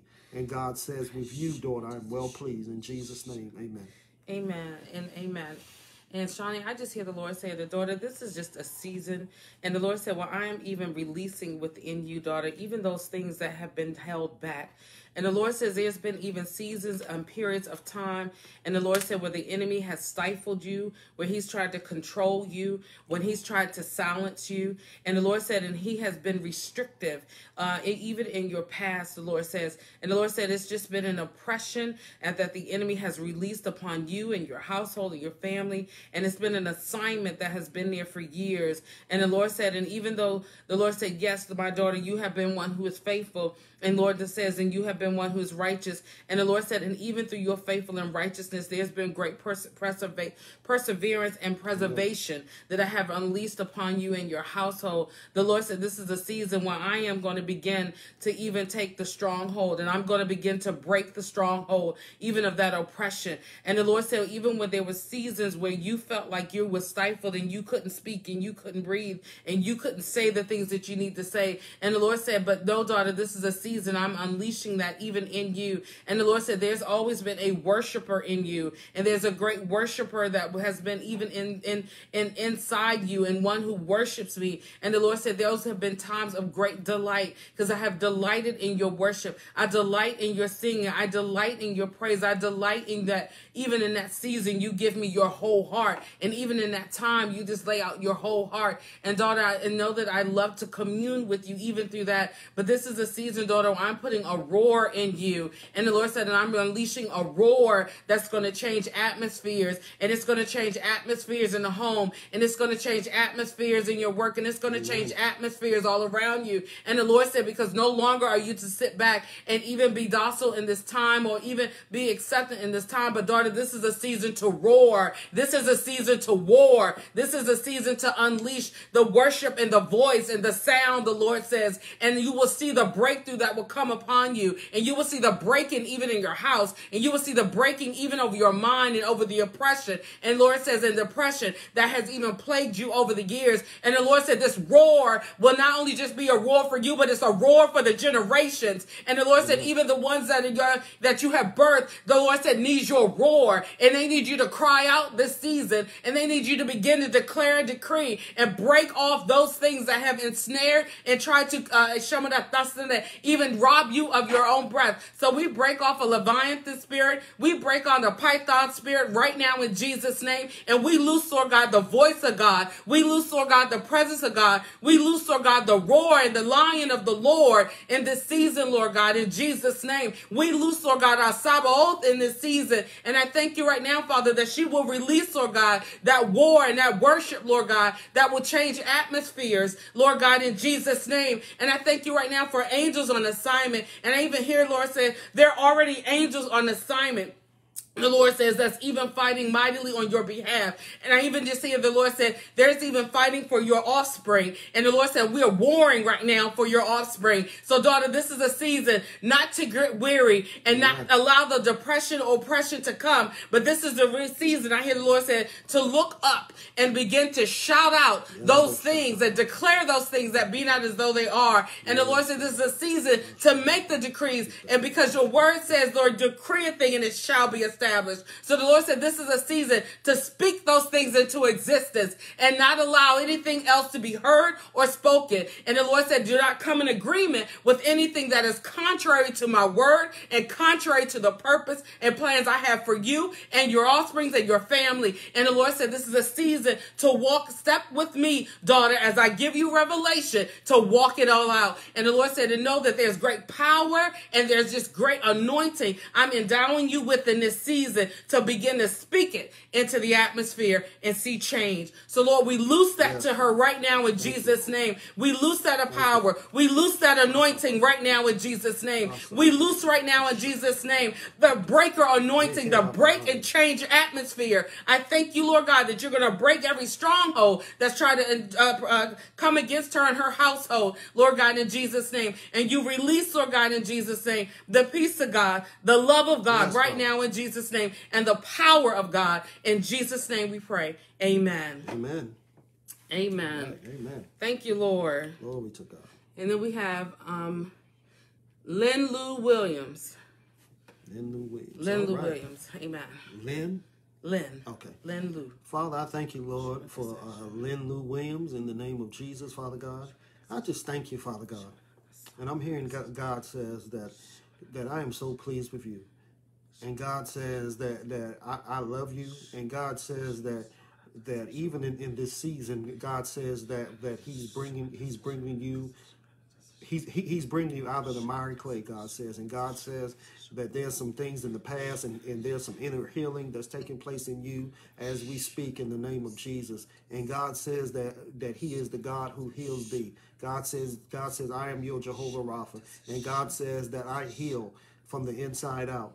And God says that that that He's bringing you into some new realms of Him. And God says that He's even showing you Him in, in a new way. And and God says that that that you are a, a person who reads my word and you are a person who understands my word. And God says that He's going to show you new revelation and new things in this season. And, and God says, as you continue to read my word, and, and God says that there's even opportunities that God says that He's going to put you in the marketplace. And, and God says that, that He's going to give you opportunities to witness and preach my word. Because God says that you have prepared yourselves just like in, in the in the case of the of the five um, five wise virgins, that you are spiritually preparing yourself for for ministry, and you have prepared yourself for the soon and coming King. God says He's preparing you now, and He's maturing you, and and He's He's taking you to places where you have never seen. So God says, "Well done." Well done, good and faithful servant. And, and God says that, that you are preparing yourself for ministry. And, and God says, continue to be humble. And God says, doesn't my word says, if you humble yourself before me in due season, I will lift you up. So God says, with you, I am well pleased. In Jesus' name, amen. Amen. And so, Father God, in Jesus' name, Lord, we just lift up Lynn Lou in Jesus' name, Lord God. And I thank you right now, Father, just for strengthening her body, strengthening her mind, even in this season. I thank you right now in Jesus' name, Lord God, Father, that you're just going to continue to pour out your spirit upon her in Jesus' name, Lord God. And Lord, I just thank you right now, Father. We just declare the finances to come forth right now in Jesus' name. I thank you right now, Father, in Jesus' name, that you just open doors of opportunity. And I just even hear there's just even Shamanata Sandamarata say, he Shamanata say, Yanda say, he under say, he Shamanata say. Um, Lindu, I just I I just feel like there's just been some um Shamanata Sandamarata say there's been a wrong against you. Um, and it's almost like um Shamanata say, he Sham it's it's um amen. I'm just gonna hear what I tell you what I hear the Lord saying so, Father, I just thank you right now. So, Lindu, I just hear that there's been even a, a, a unrighteous judgment that has been made Amen. against you. Amen. And the Lord said, and this is the season I'm going to begin to turn some things around for you. And the Lord said, there's just been even some uh uh some even uh, judgments or decisions that have been made to try to not to help you but to hinder you. And the Lord said, but they haven't been made for the right reasons. And the Lord says, even that, um, it's just even unrighteous. It's just, it's not right. I don't know what it is, but it's not right. And I know it's not right. And the Lord said, I'm going to begin to turn some things around. And I believe a lot, some of it has to do with your finances. I'm not sure. But the Lord said, I'm about to turn some things around for you in this season. And the Lord said, and what was done to you unjustly, the Lord said, I'm going to correct in this season. And the Lord said, you've been crying out. And the Lord said, you've even said, okay, God, I'm, I'm stepping out on faith and I'm, I'm going to trust you in this. And, and you've cried out. And the Lord said, I'm going to do some reversals. And the Lord said, there's some things that should have been yours, the Lord said will be yours in Jesus' name, the Lord says. And I just feel like there's some finances that's been held up too. And the Lord said, I'm going to begin to release that. And I just, I, I just pray over whatever paperwork it is that has been unjustly done or sitting that hasn't been processed. Lord God, in Jesus' name, you begin to move in that right now in Jesus' name. And you begin to pursue that right now in Jesus' name. And I declare favor upon her. And the Lord said, there's going to be even supernatural favor over you in this season. And what doors once were locked, daughter, I'm going to tell you to try again. And I hear the Lord say, go back and look again. This is a season the Lord says, don't accept what is not of uh, if you know in your spirit it is wrong i hear the lord said do not accept it. Do not accept unrighteous justice. But the lord said pursue. And the lord said continue to go after it. And the lord says and no daughter look again and you'll see. And the lord said that the, the situation is going to turn. So i thank you right now father in jesus name that i, I just shamadata say he shamadata this is like a word of knowledge and instruction. You're supposed to go back and do it again. Don't accept the no go back. And i just declare and decree that the, the, door will open whatever that is. And so father we just thank you right now lord that you give her wisdom and revelation even what you're speaking of because he hasn't given me everything but just know i hear that you need to do it again. And so father we thank you right now lord that she's going to follow the instructions. And lord you're going to give her in that let her know even in her nowhere lord god in jesus name what you're speaking of and give her revelation lord god of what you're speaking of. And i declare lord god in jesus name that reversal will come and that reploving will come and that which has been owed to her will come in Jesus' name. And Lord, we declare healing over her body right now in Jesus' name. And I hear the Lord say, there's even a great healing that's even coming Amen. to you. And the Lord said, the fire of my anointing is coming upon your body even in this moment. And the Lord said, you're going to receive and you're going to feel my healing anointing overtake you in Jesus' name. And the Lord said, I'm working some things out even in your body. And the Lord said, and what was the once thought that would not return or even dead. The Lord said, I'm going to bring back even to life. And the Lord said, I'm speaking even to your systems right now in Jesus' name. And Lord God, I just thank you right now, Father. Lord, he Lord, for her whole endocrine system, Lord, the blood levels, everything, Lord God. We just thank you right now, Father, that everything will be normalized, Lord God, in Jesus' name. I declare full mobility right now in Jesus' name. I thank you right now, Father, Lord, that you're releasing your healing anointing over her, even this very moment, even in her house, yeah. as you Amen. receive it. I just release it to her. In Jesus' name we pray.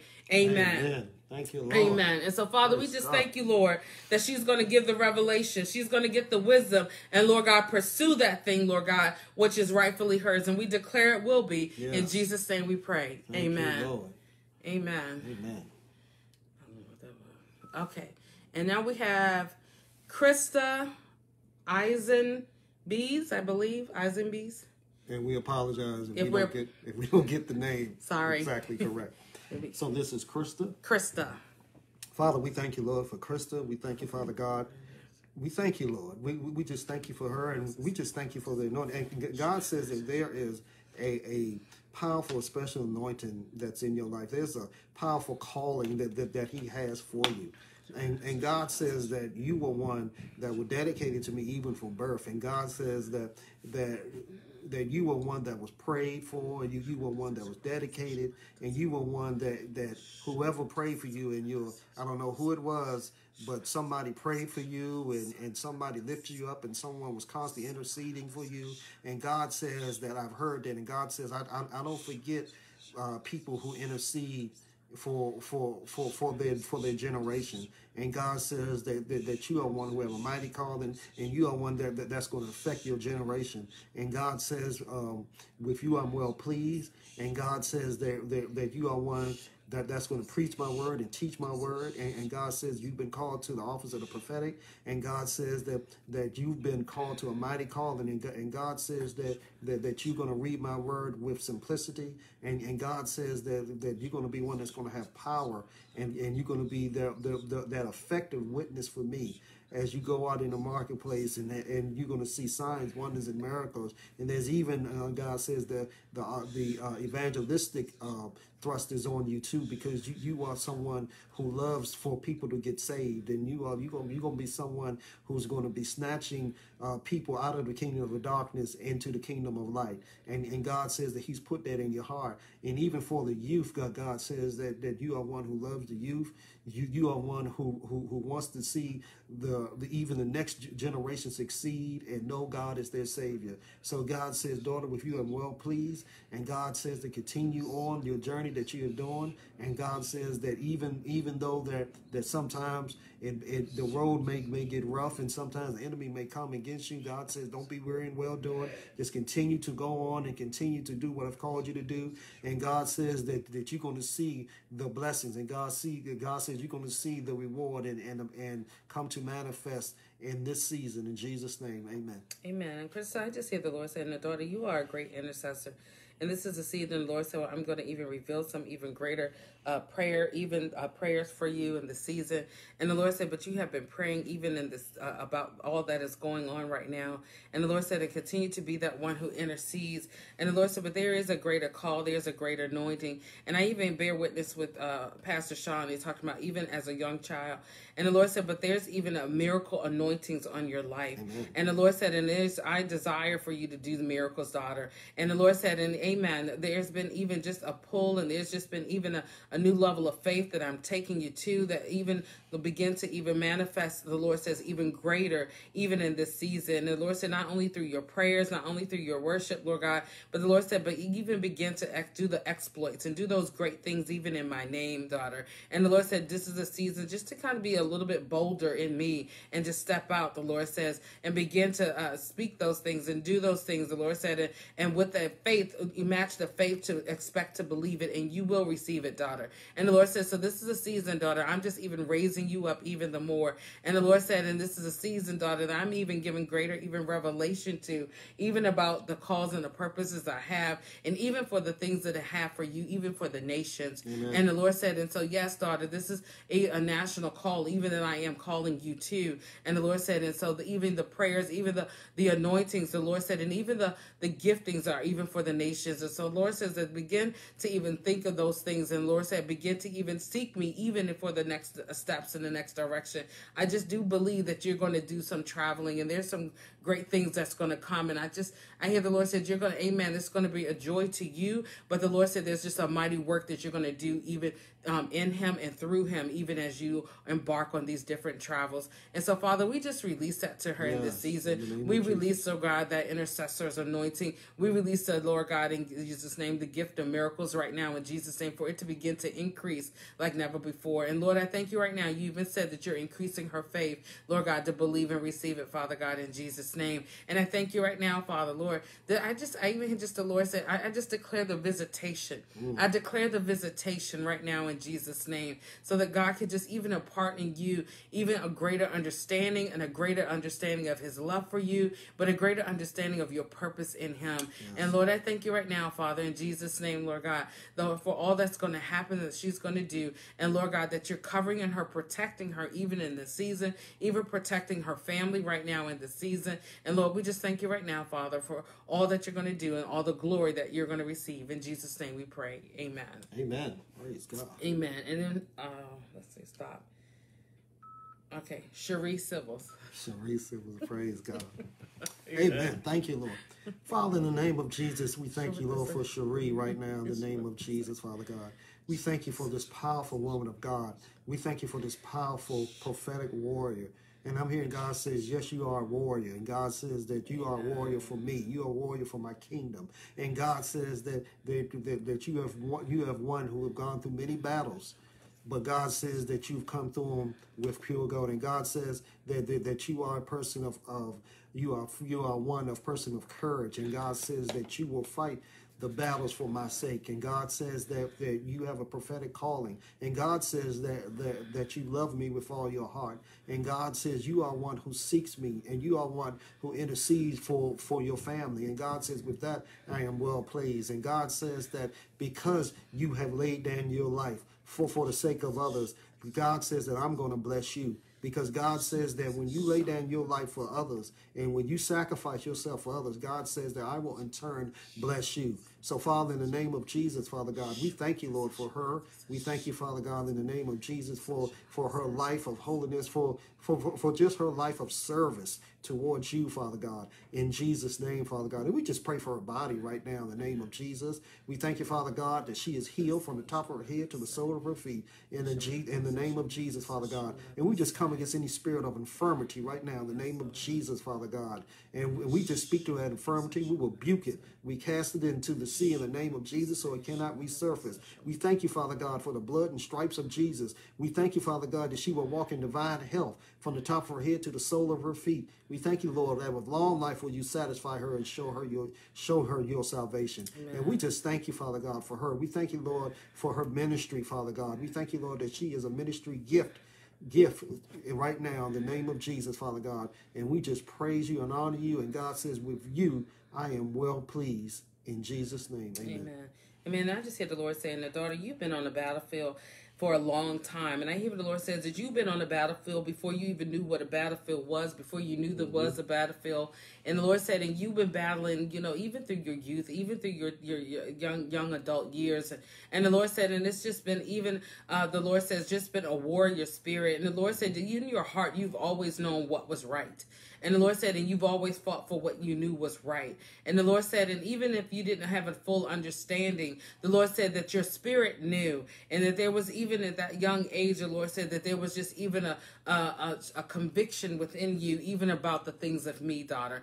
And even if it wasn't named me, you just knew. And the Lord said, so know that my call has been on you for a long time. And the Lord said, and even the word says, I knew you before I formed you in the womb. Amen. And the Lord said, so yes, daughter, it has been a call and and even a destiny, destiny, Lord God says that I have had on you. And Lord, daughter, you are one who is a warrior. And the Lord said you only war not only in the spirit, but you've war in the natural. And the Lord says, but you have a warrior anointing. And the Lord said, and you're not afraid. And the Lord said to go in and be able to do what you need to do, daughter. And the Lord said, so I put that even anointing in you. And the Lord said, so this is a season, daughter, where you are even battling even more than you battled before. And I just even hear the Lord says, it's been a long five to 10 year road of just even warfare and just battle and warfare and battle. And the Lord said, and know that, daughter, amen. I hear the word that do not grow weary and well doing because uh, it's Shamanatha say, uh, Shamanatha, in due season you will reap if you not faint. And the Lord said, and this is a season, the Lord says that you're going to continue to press. And the Lord said, Shamanatha, I just see uh, you just pushing a rock. And the Lord said, but you know, for a long time you felt like you've had this by yourself. And the Lord said, but this is a season. The Lord said, you're going to look to your left, you're going to look to your right, and you're going to see that there's been people and there's angels, there's everyone on assignment that's pushing this for you. And the Lord said, and those daughter has been a press. The Lord said, you will feel the lightness and the load, and you will begin to feel the lightness of your body. And the Lord said, and where there was much even turmoil and much stress that wreaked havoc over your body and over your mind, the Lord said, in this latter days you will receive peace and you will know the peace. And the Lord said, because even the Lord says, as you sought me and as you continue to seek me, the Lord said, I've continued to even poured in more peace. But the Lord said, this is a new peace that I'm even giving you today. Amen. And the Lord said, this is a new revelation I'm even giving you today. And the Lord said, I'm even breaking off some veils. And the Lord said, and even some things that the enemy has tried to hinder you from seeing even this day. But the Lord said, there's a clarity coming like never before. And that clarity, the Lord says, is even understanding who you are in the spirit and who your authority is and what power you actually have and to begin to walk in that authority and walk in that power like never before. And the Lord said, and you're going to see that there's a greater anointing rising up even in you in this season. And it's almost like you didn't know, you sensed it, but revelation has come and now you're able to name it. And the Lord's name is written upon you. And so now you can receive it because you know that you know that you know who you are in me, daughter. and it's been even a walk. The Lord says, and the Lord says, "Well, you said, I know God, I know I'm, I know something," and the Lord said, "But I've named it." And yes, daughter, I've called you to be that prophetic warrior, even for your family, even for this generation. And the Lord said, "You've had a heart for this generation and a heart for these children for years, and now you understand that that warrior anointing is for you to begin to pray, declare, and even fight on their behalf." And the Lord said even in your own house, the Lord said, "There's a breaking that's coming, and there's a breaker anointing that I'm even sending in your house, and what has been stood for years will break." And the Lord said, "There's going to be a softening," and the Lord said, "The Father's love and the Amen." I just feel like there's a peace that's going to surpass all understanding that's going to come into that place like never before. And the Lord said, "There's just going to be a release of an inner joy in your spirit, in your house, in your finances, in every area." I just hear the Lord say, "Your latter is so much greater. Your latter is so much greater, and there's just going to be a testimony that you're going to say and that you're going to share of all that you've endured to even get to this point." But the Lord said, "Know that even that testimony, uh, if you just hear the Lord say, well, it's going to include the releasing of healings and the releasing of miracles, because there's a miracle work that's going to be done in your household, not only over you but your family." The Lord says, "There's a miraculous healing because there's been a degenerative a spirit of infirmity that has attacked the whole household." And I hear the Lord saying, and it's even attacking even your children, and it's trying to come against them. So we just thank you right now, Father, that in that warrior anointing, God's going to give you revelation on how to come against that spirit of infirmity and root it out of your house, root it out of that bloodline, and we just come against it right now. So we root out every spirit of infirmity right now in Jesus' name from the generation, from every open door of any ancestor that let it in. Lord, we lose forgiveness. We ask for forgiveness. And Lord, we thank you right now, Lord, that you're going to seal it right now. And it ends today in Jesus' name. And healing begins today in Jesus' name. And it will manifest today in their bodies in Jesus' name, Lord God, in their minds, in their spirit, in their soul, in Jesus' name, Lord God. And I thank you for financial breakthrough in Jesus' name, Lord God. I thank you right now, Father. We break off every form of stress and oppression in Jesus' name. And the burdens, Lord God, every false burden, we break it off right now in Jesus' name. And we lose the peace of God and the love of God over them. And I thank you right now, Father, that she's going to rise up, Lord God, in Jesus' name. And I thank you, Lord God, in Jesus' name, Father. Lord, that she will walk in the fullness of her calling as you release that to her this day, as you release the anointing this day, as you release the revelation this day. I declare and decree it right now in Jesus' name, Lord. You release the healing this day. Lord, we just thank you for it and we seal it in Jesus' name we pray. Amen. Amen. Thank you, Lord. Amen. Okay. And then our last one is Oh Hey Chris A. oh Hey Chris A. Oh hey, oh Hey. oh hey. That's her name on the on Okay. Facebook. Oh, so that's probably not her name. Okay. But we don't know her. Well, amen. Maybe it's just Chris A. So Chris A. Okay. Well, Father, we thank A. you. On. Uh-huh. Father, we thank you for I love it, oh hey in Jesus' name, Father God. Father God, we just praise you. We just honor you for her. We, we thank you for her life. And and God says that that that you are a, a life worth worth honoring because God says that that you are one who lays down your life for for for the mm. brethren. And God says that you you are one who who who seeks me and who seeks me for purpose and you seek me for vision. And God says that that in these days in, in these in these days of of unrest you you are you are you are the one who's on the front line praying and you are ones on, on, who, who are on the one who are on the front line seeking my face for direction in Jesus name. So we just thank you Lord for her. We just thank you Lord for for the vision and calling that's in her life in Jesus name Father God. We just thank you Father God in the name of Jesus Father God. And again you you are another warrior for my kingdom. And God says that you you are one who seeks my kingdom. And you are and, and you are one who seeks my righteousness. And god says because you've done that god says my word says that the things will be added. So and, and god says that that you are a kingdom demonstrator. And god says you, you are the one who, who's going to um, usher in that, that, that kingdom anointing. And you are the one that, that that's going to preach my gospel of the kingdom in, in the name of jesus. And you are that remnant. You are that remnant warrior that God is going to use in, in these in these last days be, before Jesus comes to get his bride and to get his church.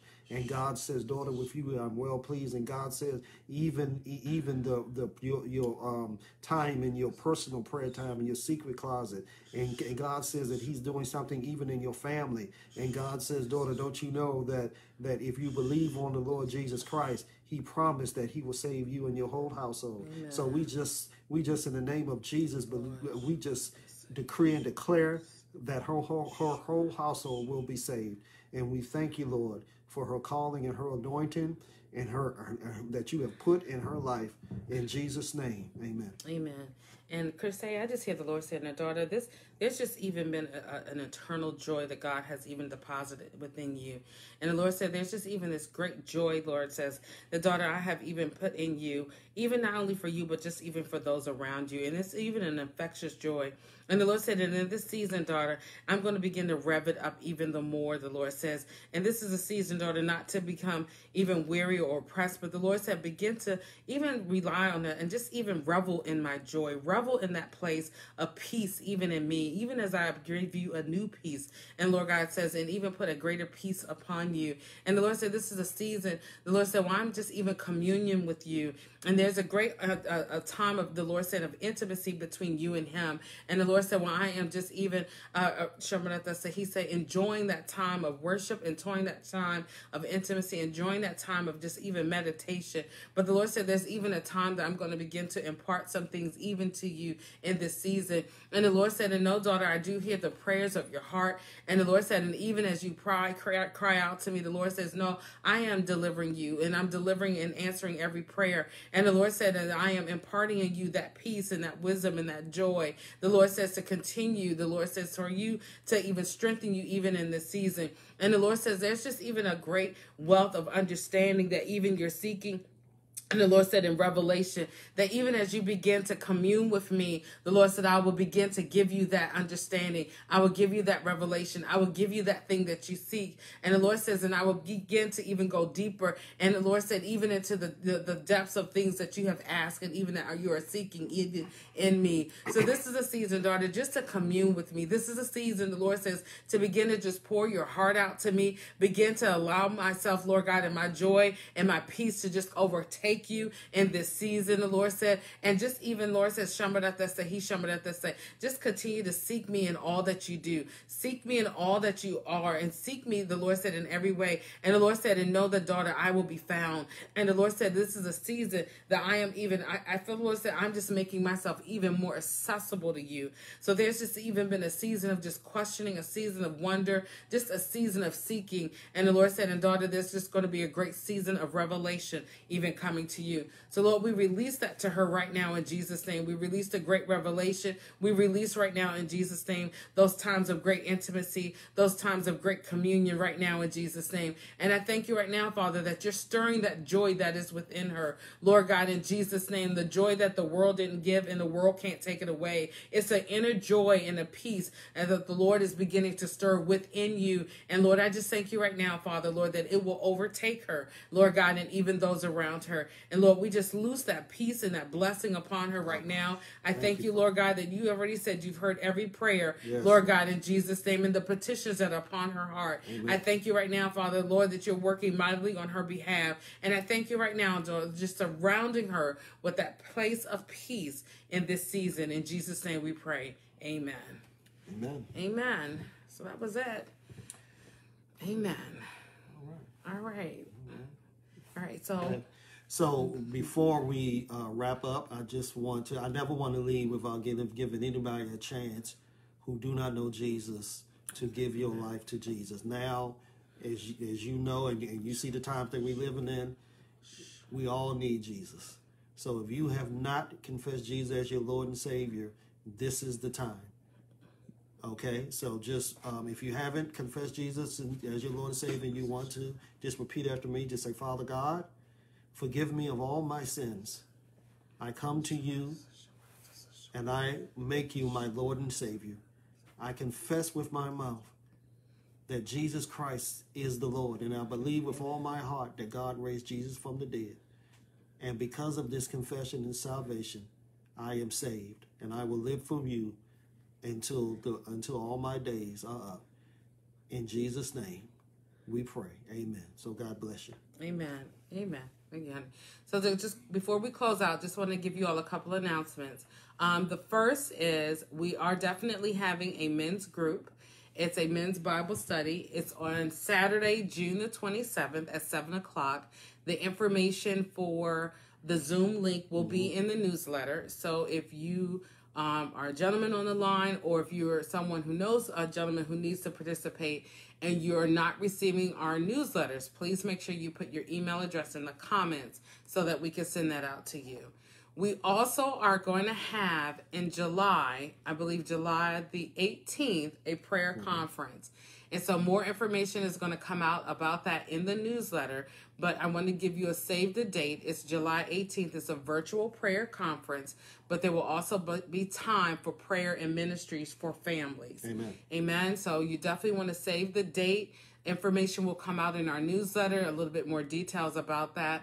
Um, and how to sign up and register. So please make sure you save that date, Saturday, July the 18th. And I believe we start in the morning at about mm-hmm um, nine or a little earlier, and so we go throughout the day.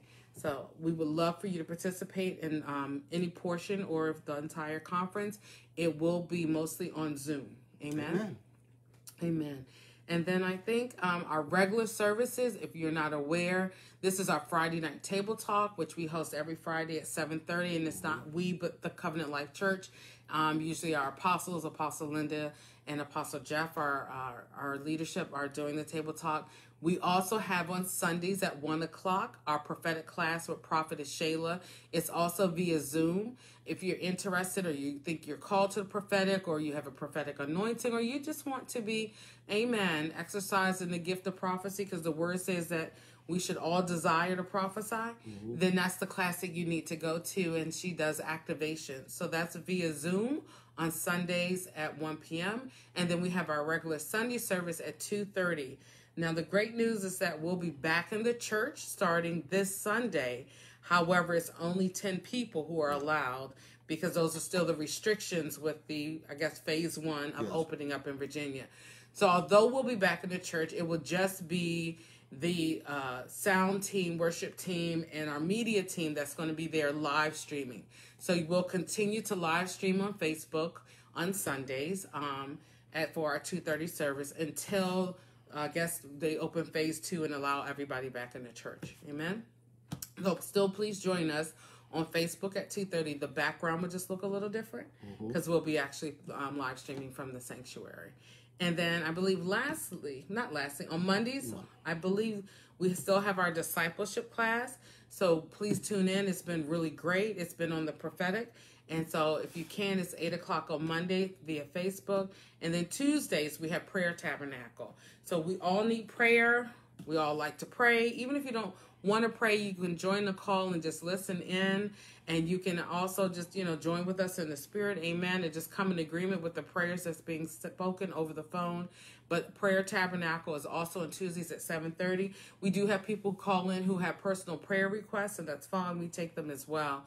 So please let us know. I mean, please join us on Tuesdays at 7:30 for prayer. Amen. Amen. I think that's it. That is it. Well, again, I just want to wish all the fathers a happy Father's Day and enjoy this whole weekend and Sunday, honor the Father. Just don't honor him on Sunday, honor him every day. But especially uh, this Sunday, you're going to take time out to honor our Father God, our Abba Father. So we just thank you, Lord. So, so yeah. we just, let's pray out. Well, and then also, okay. again, happy Juneteenth to yes. everyone. And definitely from Covenant Life Church and the Apostles. You know, we hope everyone has a happy Juneteenth. Amen. Amen. Praise God. All right, right so let's, we're going to pray. Father, we thank you, Lord, for this day. We thank you, Lord, for this night, Father God. We thank you, Father God, that we will honor the King. We will honor God, our Father. We thank you, Lord, for Jesus, Jesus, our Savior, Father God. We thank you, Lord, for the sacrifice that, that He died on the cross for our sins, that He was resurrected so we can have eternal life. And Father, we just thank you, Lord. We thank you for the Holy Spirit that resides in us to teach us and to live within us, Father God. We thank you, Father God, that we will honor we, we will honor the Father God by submitting our lives to Jesus Christ and by listening to, to the wisdom of the Holy Spirit daily. in Jesus' name, Father God. And as we go in Jesus' name, Father God, we decree and declare that we are protected against this virus by the 91st Psalm in Jesus' name, Father God. We thank you, Lord, that no no no no spirit of infirmity, no sickness or disease will come down our dwelling. In Jesus' name, a thousand shall fall at, at one side and ten thousand at our right hand, but it shall not come down our dwelling. In Jesus' name, Father God. And we just thank you. We just honor you. We just praise you, Father God. In Jesus' name, Father God. We thank you, Father God, for being in our lives, Father God. We put you first in all that we do. And may the grace of the Lord Jesus Christ, the love of God, and the communion of the Holy Spirit be with you all. God bless you, and thanks for watching. Amen. We Good love you. night. Amen.